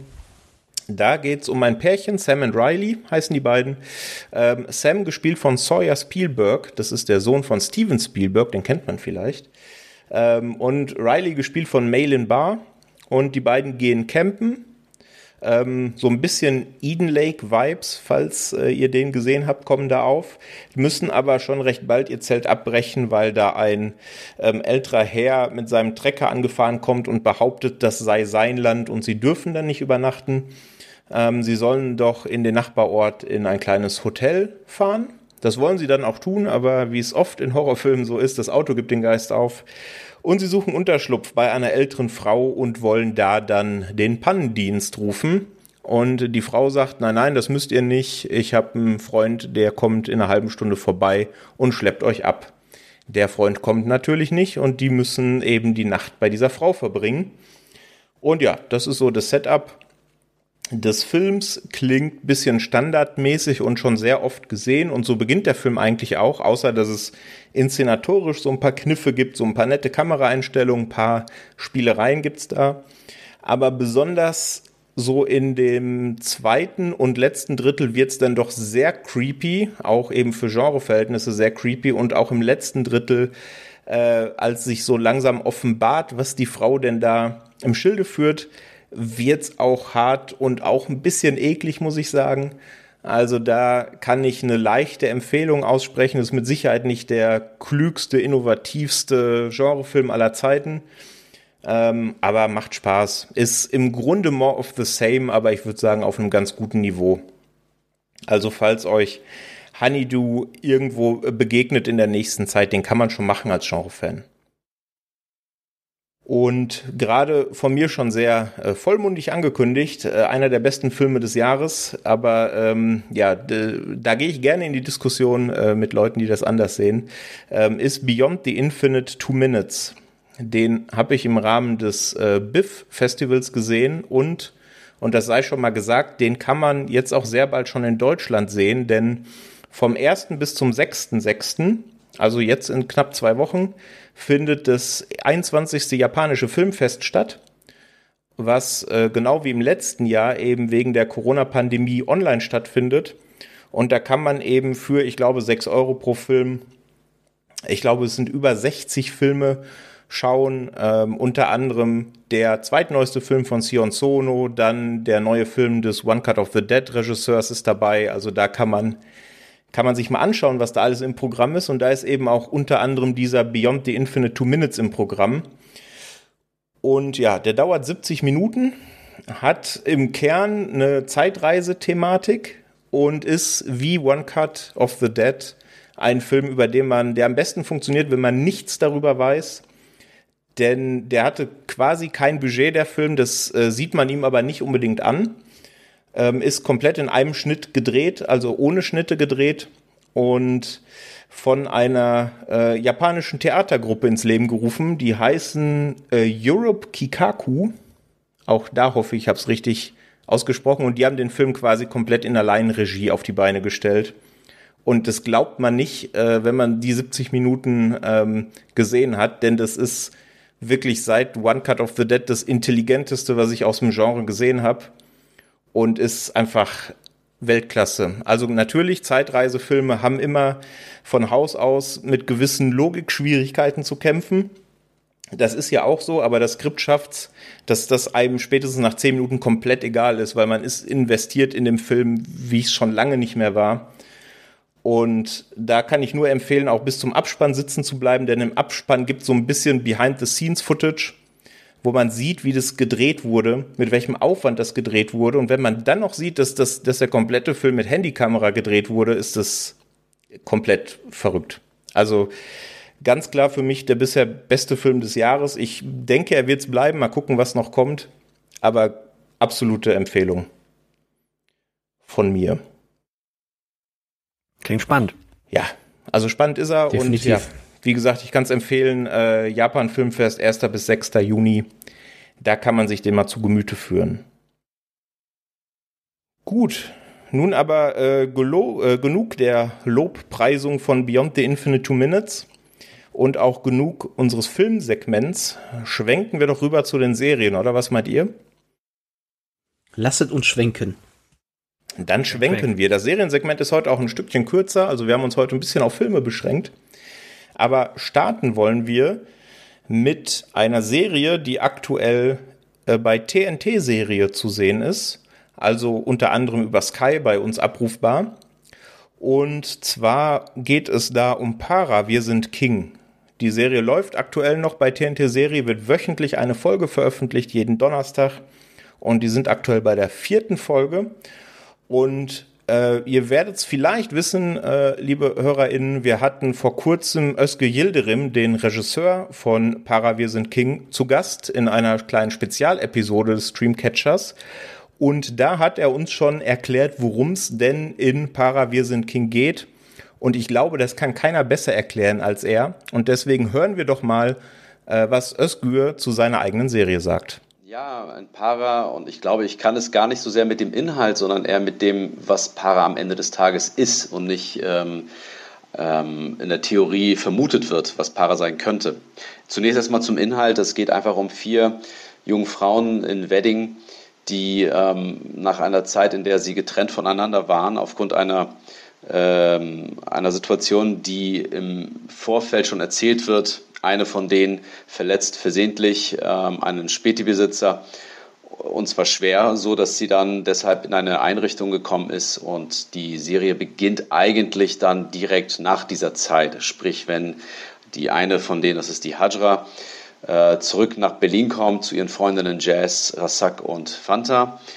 Und ähm, und nach einer, nach einer Partynacht ähm, haben sie einen Fund. Es geht um einen Beutel Kokain, den sie dann finden bei ihrem Dealer und sich dafür entscheiden, diesen Beutel mitzunehmen, beziehungsweise Hajra sich dafür entscheidet, diesen Beutel mitzunehmen und dann die anderen davon überzeugt, äh, um ein Stück von dem Luxus zu haben, ähm, den sie so nie haben konnten, um einfach mal zu schmecken, was Luxus heißen kann, auch wenn es nur vorübergehend ist und auch wenn es im kleineren Rahmen ist, als wenn, als wie die Hamadis es vielleicht in vier Blocks hatten, ähm, gehen sie diesen Weg am Ende des Tages und entscheiden sich, das zu tun.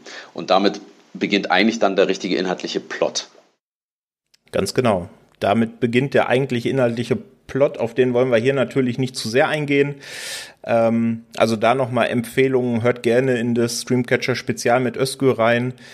Äh, da erzählt er einiges auch über die Dreharbeiten, was ich sehr interessant fand, denn die kompletten Dreharbeiten fanden schon innerhalb der Corona-Pandemie statt was ähm, ja ein paar Herausforderungen mit sich brachte. Und er hat da in, dem, in der Ausgabe auch schon gesagt, äh, viele kennen Özge Yildirim vielleicht von vier Blocks, da war er ja hauptverantwortlich für die zweite und für die dritte Staffel. Oder von Chico oder Nur Gott kann mich richten und ähnlichen ja, Straßenfilmen, Milieustudien, wie man es nennen möchte. Und bei Para war es eben ihm ganz bewusst, dass er kein vier Blocks 2 inszenieren möchte oder kein vier Blocks, wo der einzige Unterschied ist, dass es weibliche Hauptdarsteller sind, sondern eben was komplett anderes erzählt. Und das äh, finde ich funktioniert großartig. Wie gesagt, bisher habe ich vier Folgen gesehen. Ähm, denn das Centerpiece von der Serie ist eben diese Freundschaft von den Vieren.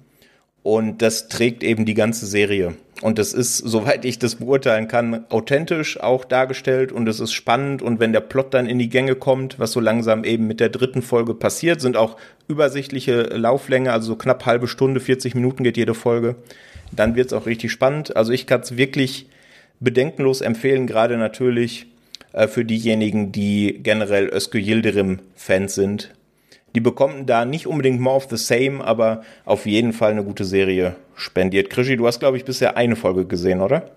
Ist korrekt. Ähm, hat mich aber gut gehuckt. Also gerade diesen Vorfall, den ähm, er da erwähnt, der praktisch dann so der erste Katalysator ist, das hat mich komplett mitgerissen. Das, wie du schon sagtest, dieses Authentische, ne? Also die Mädels, die sind, die sind einfach sowas von richtig, richtig authentisch, echt. Also das fühlt sich gut an. Und wenn die da schimpfen wie wild, fühlt es sich nicht an wie dieses. Man wirft ja gerne den Deutschen vor, so von dieses Theaterschauspieler. Das wirkt halt wirklich, als wenn da, als wenn es gar keine Schauspieler wären, als wenn da einer jetzt gerade mit der Kamera einfach nur filmt und eine Doku wäre. Ja, und diese Freundschaft, die sich da so schon zeigt, ankündigt und so, macht Bock auf mehr. Also ich kann auch bis jetzt, also ich meine, eine Folge, wie will man da empfehlen, ne? aber ich kann sagen, nach einer Folge war ich oder bin ich hooked genug, dass ich sage, ich möchte noch weiter gucken, ich möchte wissen, wie, wie geht's denn weiter, was hat man sich da einfallen lassen. Ja, also ja, auf jeden Fall äh, dranbleiben. Ich kann es bedenkenlos empfehlen. Äh, Gerade ein Charakter, der hat's mir da sehr angetan. Das ist Kalle, der ist da äh, quasi der Haus- und Hofdealer mit richtiger Berliner Schnauze, der in so einem schnellen Staccato die Gags raushaut, dass ich teilweise wirklich zurückgespult habe, weil ich nicht alles mitgekriegt habe. Das ist Weltklasse. Also macht großen Spaß. Para, wir sind King, aktuell wöchentlich bei TNT Serie und das kriegt man eben bei uns unter anderem per Sky. Das klingt auf jeden Fall interessant, da werden wir mal reinschauen. Ja, das kommt, das kommt dem Kalle schon recht nah. Ja, okay, Knorke. Kicken wir, oh. Ein Tausendsasser. wie Martin Semmelrocke. ja, da muss ja ein bisschen höher gehen für Martin. Ja, so ein bisschen in die Richtung geht's aber auch.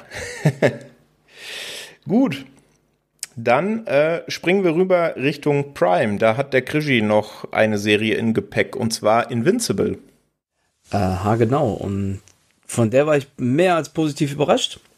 Äh, ich hatte Invincible nur so halbgar mal mitbekommen beim Gratis-Comic-Tag, der irgendwie ja doch noch letztes Jahr stattgefunden hat. Da gab es eben auch Invincible als einen dieser Gratis-Comics. Und nun ist er halt bei Prime seit äh, schon einigen Monaten. Da wurde, oder das heißt einigen Monaten, einigen Wochen trifft es eher. Und da wurde auch wöchentlich die Folgen ausgestrahlt. Die sind jetzt komplett seit, glaube ich, vor zwei Wochen, den Freitag. Und ich muss sagen, es ist echt top. Es geht um einen jungen Mann, 17 Jahre alt, der heißt Mark Grayson und der bekommt endlich Superkräfte in einer Welt voller Schurken und anderer Helden.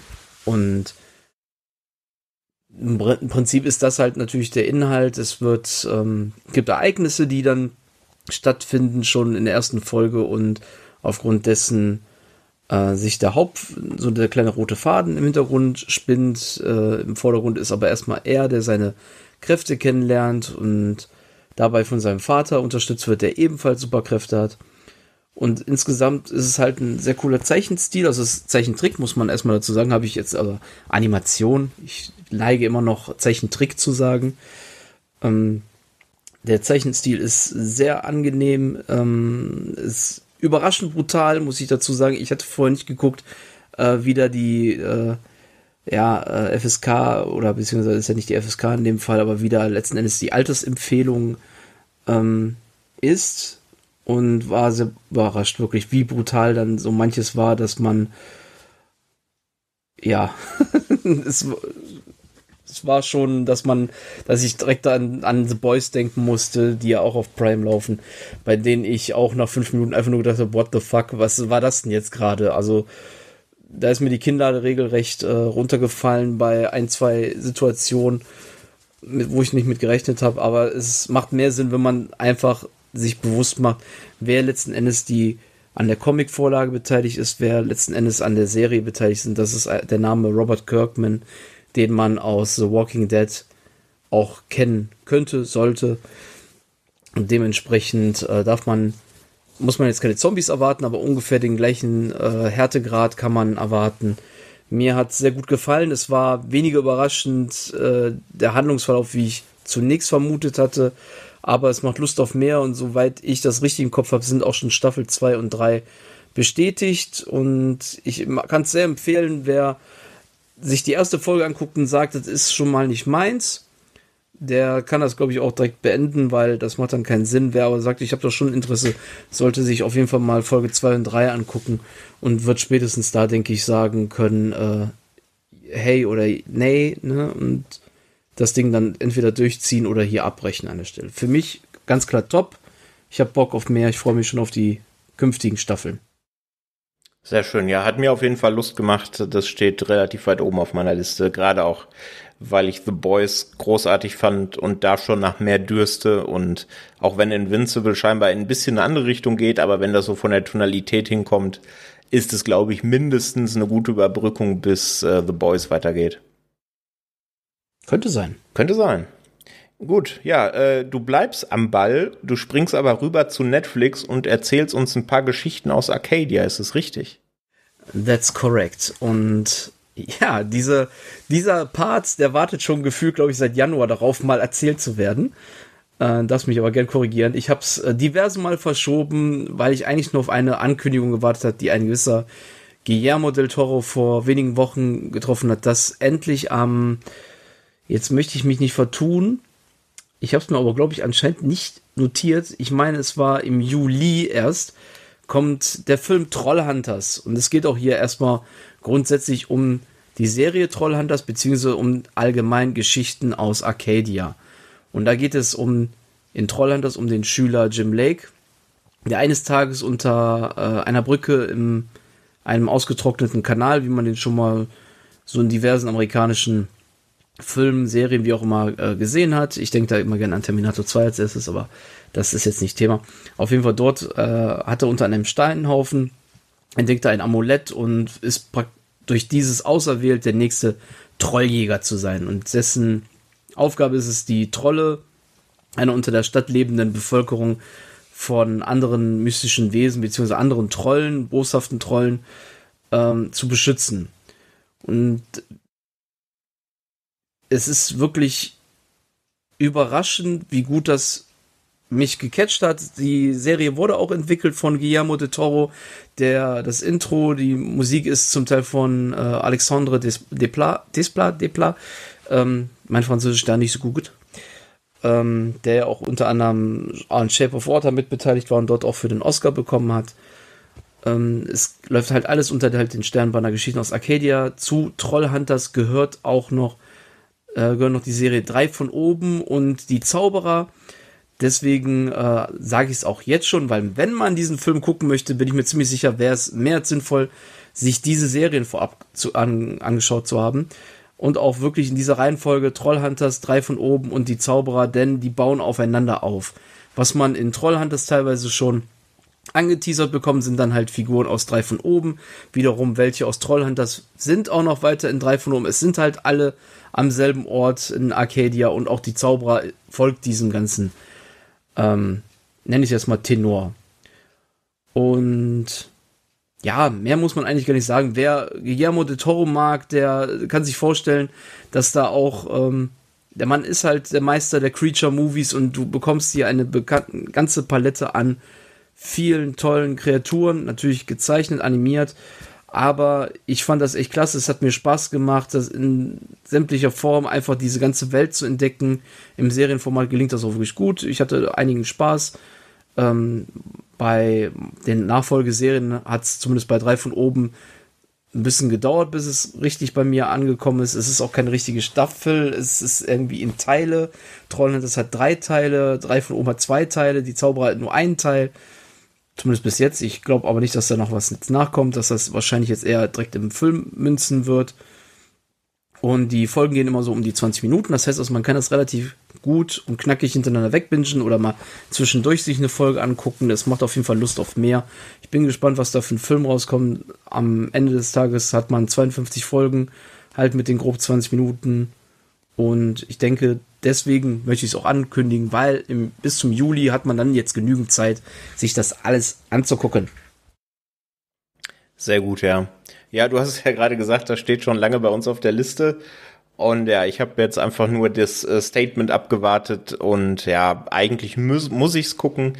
Mich schreckt's natürlich ein bisschen ab, wie das immer so bei längeren Serien ist, die schon ein bisschen existieren. Wenn du sagst, 52 Folgen je eine halbe Stunde, ist das ja schon ein bisschen Fleisch, was man da vor sich hat, ne? 20 Minuten. Die 10 Minuten darfst du dir schenken. Okay. Ja gut, das ist ja immerhin ein Drittel weniger, wenn mich meine Mathekenntnisse nicht ganz im Stich lassen. Ja, nee, aber ich, ich werde da reingucken. Ich weiß nicht, Timo, ist das was für dich? Äh, mir geht's ja genau wie dir, was so Serienlängen angeht. Und man dann aber, wenn kurze Laufzeit äh, ist dann eher was, was mich dann dazu verleitet, das so, so mal zu gucken und dann auch wieder liegen zu lassen.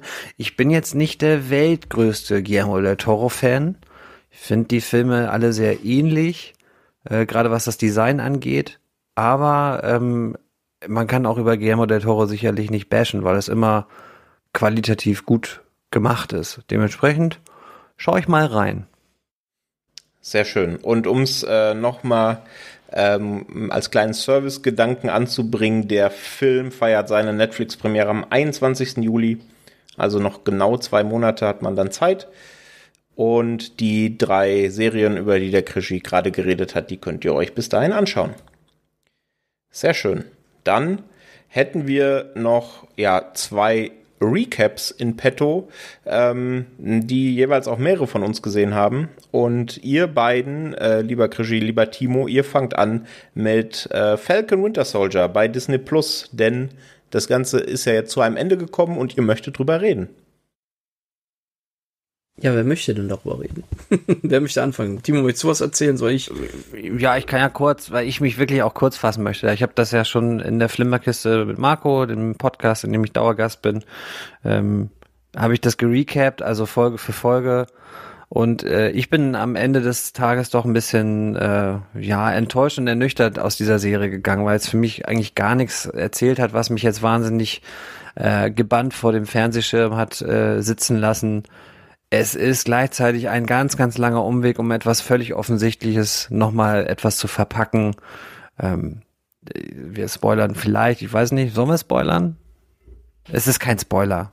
Äh, wer, wer Avengers Endgame nicht gesehen hat, äh, der wird uns nachsehen, dass wir ja nun äh, eigentlich wissen, dass äh, Sam äh, der neue Captain werden soll und warum diese Serie mir nochmal in der ersten Folge jetzt klar macht, dass das ihn äh, doch nicht, für ihn doch nicht das Richtige ist, um dann äh, eine Art von Entwicklung äh, in dieser Figur mir zu verkaufen. Ich habe das nicht gekauft und ich fand es teilweise wirklich richtig, richtig lazy geschrieben, so was so äh, diverse zu weltliche Konflikte und, und mögliche, ähm,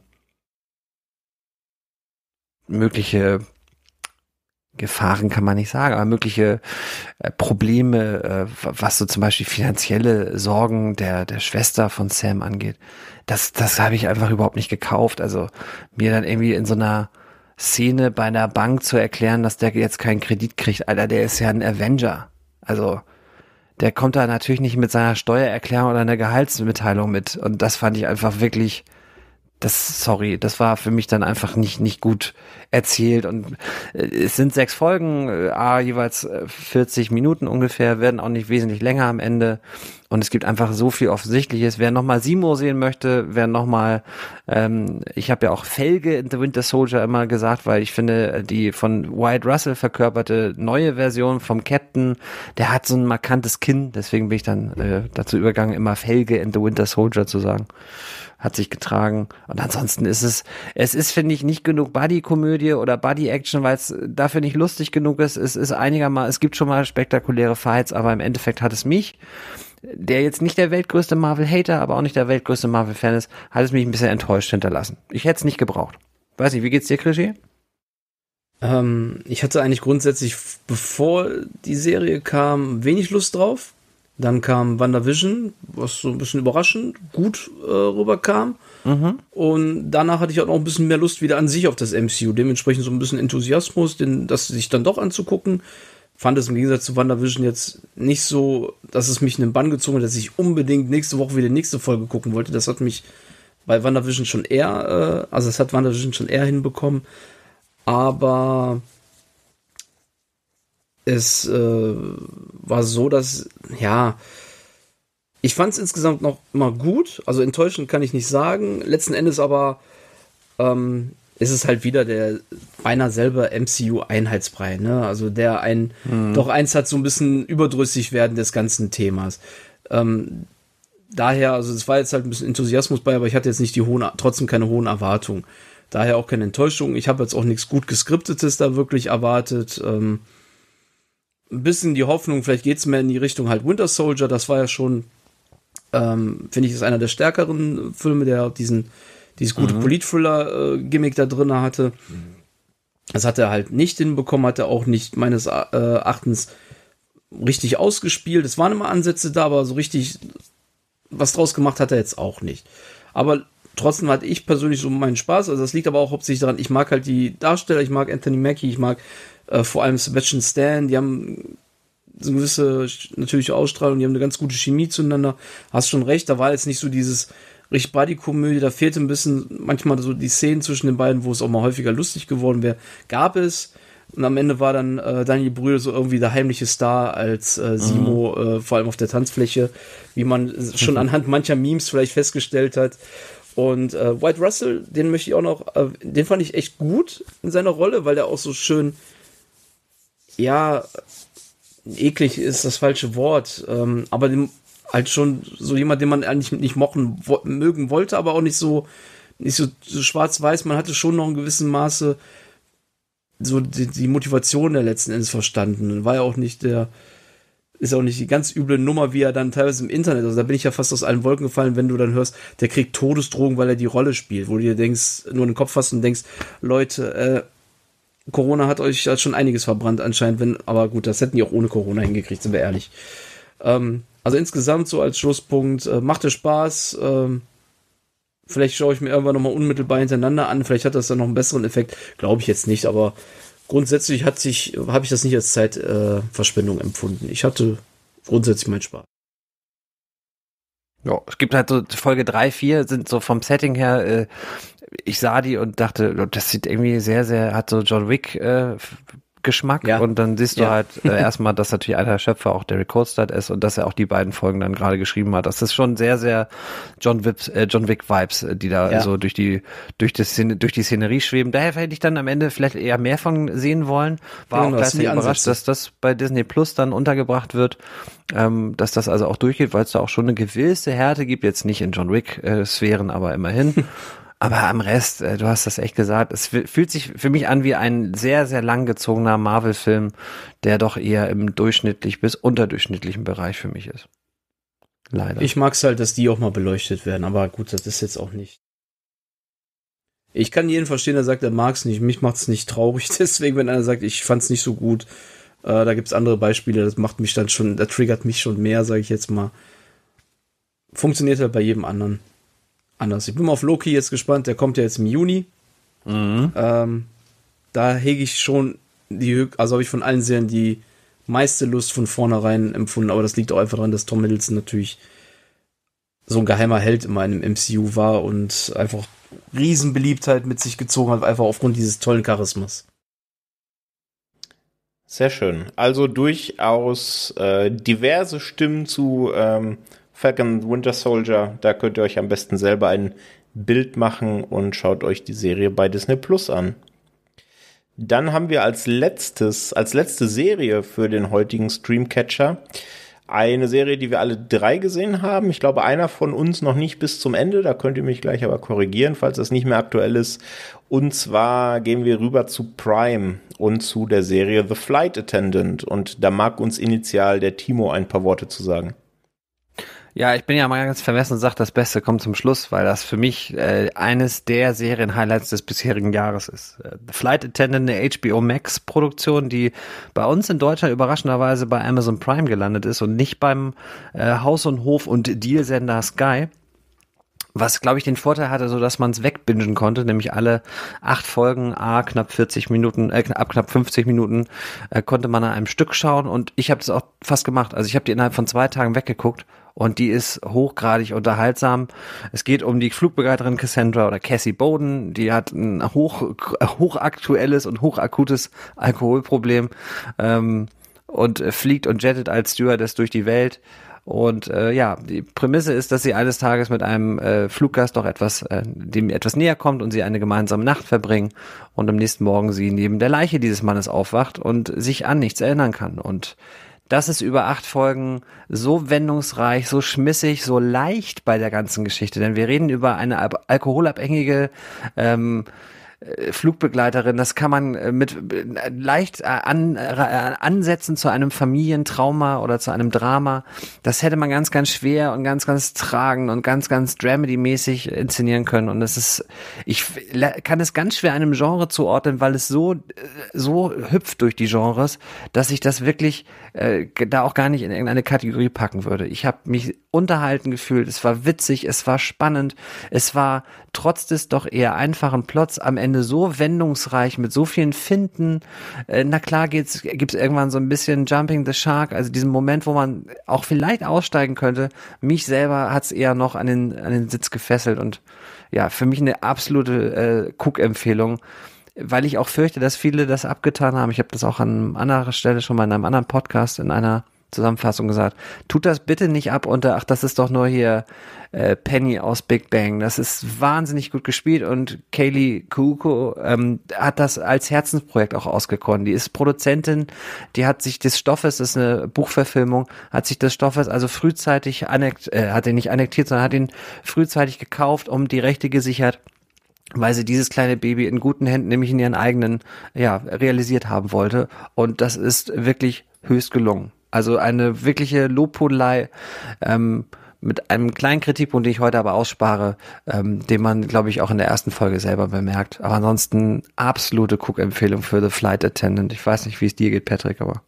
Ja, ich möchte da äh, bei diesen warmen Worten eigentlich ungern den Partycrasher spielen, ähm, aber so schlimm ist es nicht. Also ich habe es nicht durchgebinged. Unser lieber Kollege, der Jan, äh, war auch sehr begeistert und angetan ähm, von der Serie und daraufhin habe ich es mir auch angeschaut. War am Anfang auch sehr hooked. Also diese Prämisse, die du ja gerade erklärt hast, dass sie da ähm, etwas mit dem Fluggast anfängt und dann am nächsten Morgen aufwacht, sich ja nicht erinnern kann und der liegt tot im Bett Ähm, und dann kommt die Story in Gang. Das ist natürlich, hat natürlich Thriller und auch bisschen Mystery-Potenzial. Das gefällt mir eigentlich sehr gut.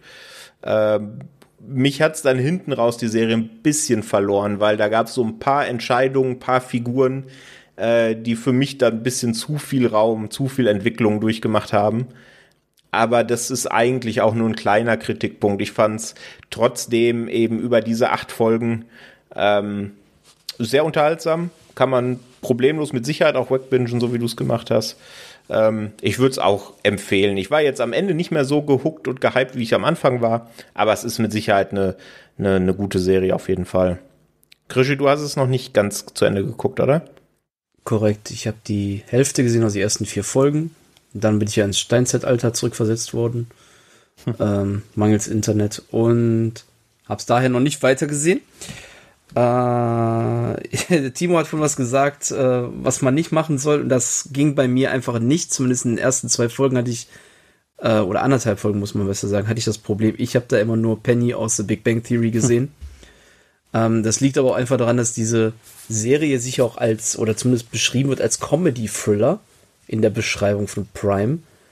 Und dieser Comedy-Punkt für mich null funktioniert und wenn überhaupt dann, also nicht wenn überhaupt, sondern auch das Problem dann halt nochmal mehr erzeugt, dass ich dann denke, da ist Penny Alkohol und äh, leichtes Mädchen oder so, als wenn man wieder die ersten Staffeln von The Big Bang Theory guckt, letzten Endes. Nur diesmal ist die Stewardess statt in der Cheesecake Factory. Ähm, das hat sich glücklicherweise zunehmend abgelegt. Ich war äh, tendenziell mehr hooked ab der, am Ende der zweiten Folge und dritte und vierte haben es auch auf jeden Fall auf den richtigen Kurs wiedergebracht. Also ich war eigentlich nach den ersten anderthalb Folgen schon kurz darauf, es äh, zu beenden, weil es mich nicht gekriegt hat. Ich bin gespannt, wie es noch zu Ende geht. Und äh, dann schreiben wir nochmal untereinander, glaube ich. Ich denke, die Serie wird uns sowieso noch ein bisschen begleiten, weil jüngst die zweite Staffel bestätigt wurde. Richtig. Die, glaube ich, fürs dritte Quartal 2022 äh, grob angekündigt wurde. Und das Ende macht schon relativ deutlich, da wird noch was kommen. Das Ganze basiert ja auch auf einem Buch, glaube ich, was Richtig. aber jetzt mit der ersten Staffel schon auserzählt ist. Ähm, ja, wir hoffen einfach, dass es nicht den Weg geht, der Game of Thrones, den Game of Thrones ging, als das Buch auserzählt war und hoffen, dass die zweite Staffel auch noch begeistert. Aber ich denke, eine Empfehlung können wir alle geben ähm, für The Flight Attendant. Macht euch da selber ein Bild, gibt's bei Prime inklusive. Und damit wären wir mit dem regulären Programm auch durch, es sei denn, euch beiden ist noch spontan irgendwas eingefallen. Nein. Nee. nee, dann freut ihr euch doch jetzt sicher wahnsinnig auf das Quiz, oder? Wie ein Schnitzel. Wie ein Schnitzel. Ich bin schon die Schultern am Kreisen, nämlich am Warmmachen. Ich habe ja leichte Kritik an dem letzten Quiz vernommen, was wir in dieser Besetzung durchgeführt haben. Es wurde mir öfter gesagt, das sei zu schwer gewesen. Ähm, deswegen, was? Von wem das denn? ich weiß nicht. Und deswegen habe ich heute, ja, ich weiß nicht, ob es leichter ist. Es ist auf jeden Fall ein bisschen was mit noch mehr Bezug zur aktuellen Folge. Und zwar Oha möchte, habe ich heute mal, bin ich die ganzen Filme und Dokus durchgegangen, die wir heute im Programm haben, bis auf Army of the Dead. Der ist ausgeklammert, sonst alle Filme und alle Dokus. Und hab mal nach dem Letterboxd Rating geschaut, denn das ist ja so unsere Filmplattform der Wahl und da wird ja immer ein Durchschnittsrating gebildet aus allen Ratings der Nutzer und hab da mal Filme und Dokus des heutigen Tages, wie gesagt, nach der Wertung sortiert. Und da ist eine Reihenfolge bei rausgekommen. Und diese Reihenfolge von oben nach unten, also vom besten zum schlechtesten, würde ich euch bitten, mir doch einfach mal ähm, darzustellen. Als in dem altbekannten Modus, der Gast fängt an, der Timo versucht, den am bestbewertetsten Film oder Doku laut Letterbox zu nennen. Und wenn es richtig ist, darf er weitermachen und wenn es falsch ist, ist der Krischi dran und wer am Ende die meisten Punkte hat, gewinnt. Regeln verstanden? Yes. Ja, sehr schön. wir fangen von oben nach unten an. Wir fangen von oben nach unten an. Es gibt ein paar Filme, die exakt die gleiche Wertung, eben bis auf eine Nachkommastelle haben. Ähm, da akzeptiere ich natürlich beide Antworten. Okay. Also, Timo, leg los. Ja, ich würde mal mit Jojo Rabbit anfangen. Das ist sehr richtig. Der erste Punkt für dich. Dann darfst du weitermachen. Ähm, Übrigens eine 4,0 von dann bin 5. ich schon bei Richard Jewell. Das ist nicht richtig. Krischi. Einschließlich Dokus, sagtest du, ne? Jawohl. Dann sage ich deinen Film des Jahres hier. Ähm, ich komme jetzt nicht mehr auf die Two Minutes. Beyond äh, the Infinite Two Minutes ist ja. noch nicht dran. Nein. Timo? Okay. Hm. Hm, hm, hm, hm, hm. Kleiner Tipp, exakt die gleiche Durchschnittswertung wie Jojo Rabbit, also eine 4,0 Stand heute. Zwischen zweien. Ich nehme wahrscheinlich eh den falschen oder sind beide falsch. Äh, ich nehme sieben Minuten nach Mitternacht. Das ist leider falsch. Krischi? Ähm, du hast mich dadurch eigentlich, ich hoffe es jetzt zumindest, weil ich habe ja sehr viel, ich, ich habe äh, gelobhudelt ja, äh, die Mitchells gegen die Maschinen. Das ist richtig, auch eine 4,0. Du bist weiter dran. Stark. Kleiner Ähm. äh, Spoiler, es kommen jetzt drei Filme mit einer 3,9.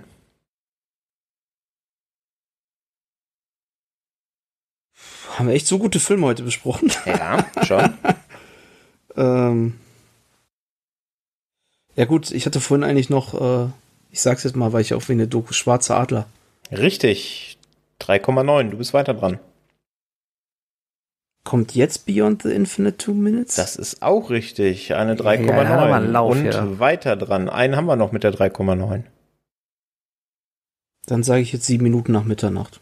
Das ist leider falsch. Timo? Okay. Dann bin ich jetzt bei Richard Jewell.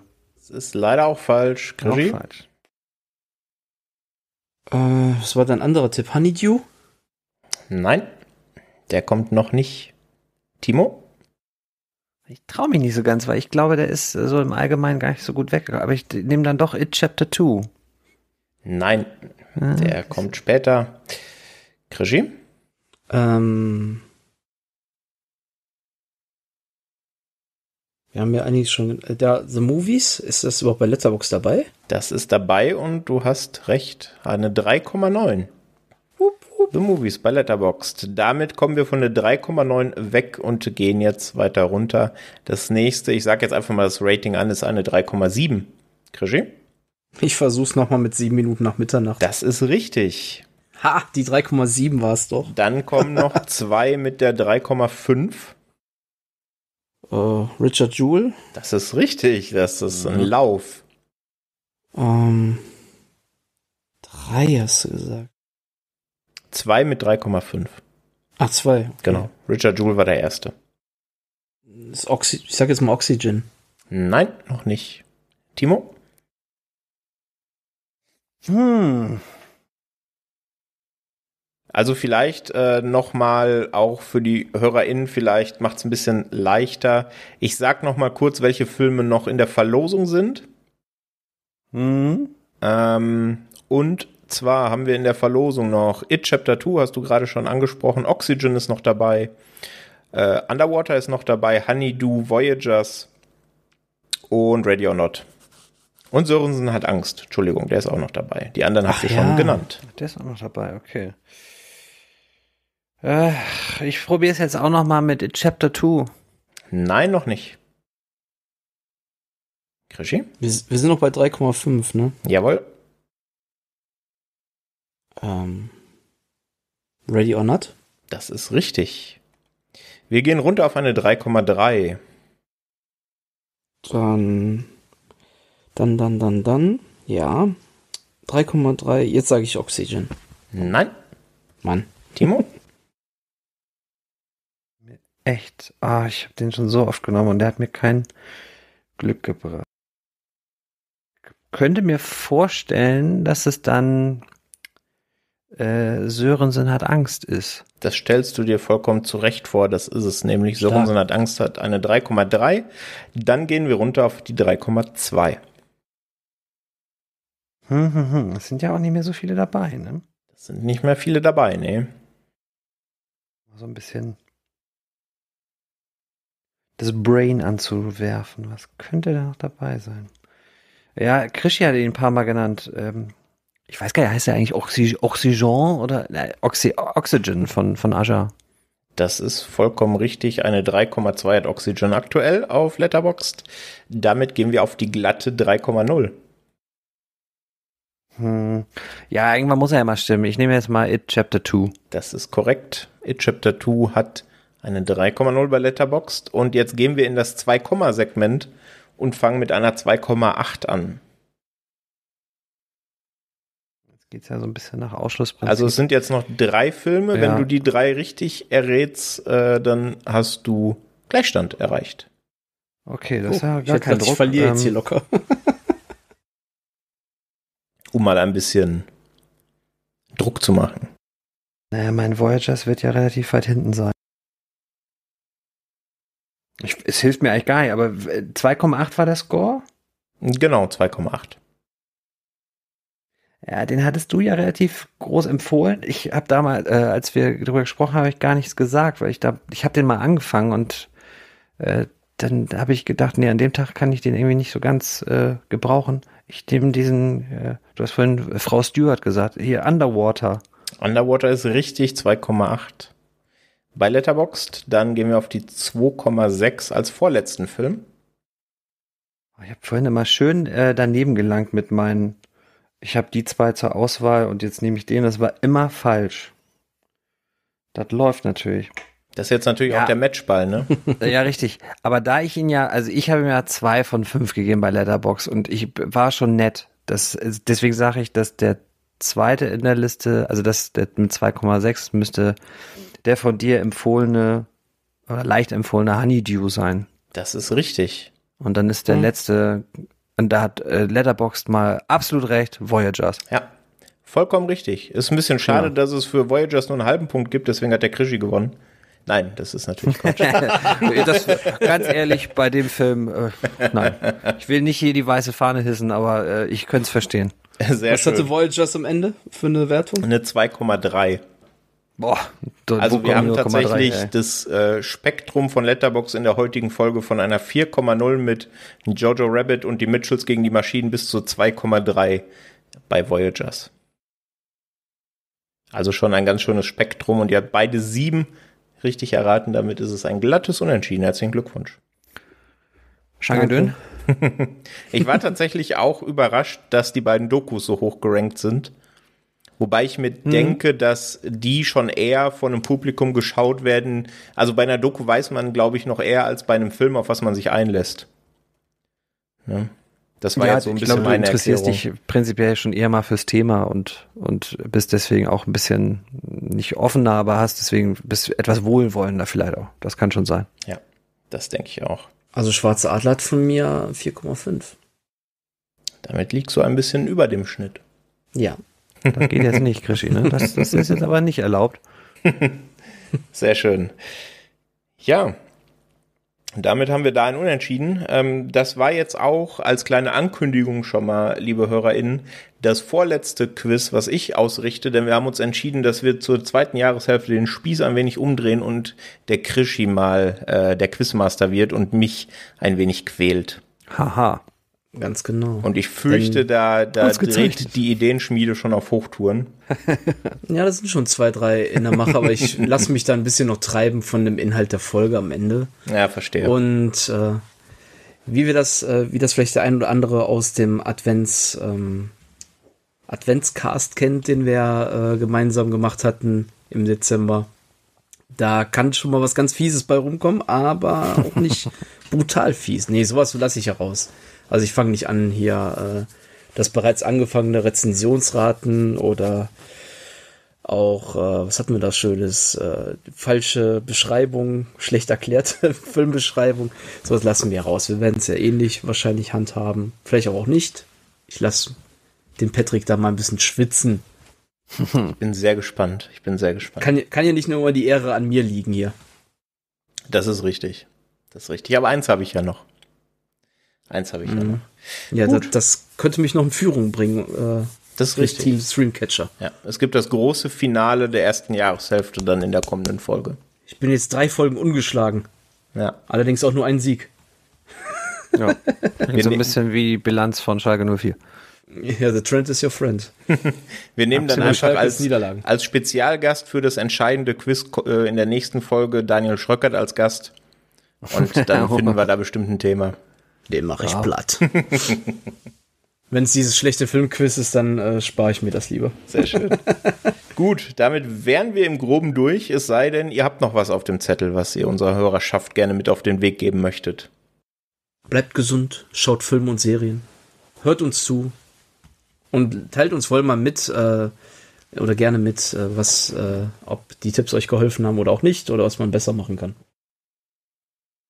Ganz genau, diesem Appell möchte ich gerne final noch folgen. Gebt uns gerne Feedback, ähm, ob das für euch Spaß macht, ob das für euch so Sinn ergibt, wie wir den Streamcatcher jetzt im neuen Jahr aufziehen. Da sind wir wirklich um jedes Feedback, sei es per Facebook, per Twitter, auf Instagram oder eben in den typischen Podcast-Bewertungsportalen, hauptsächlich natürlich iTunes, immer sehr dankbar und nehmen das Feedback auch auf.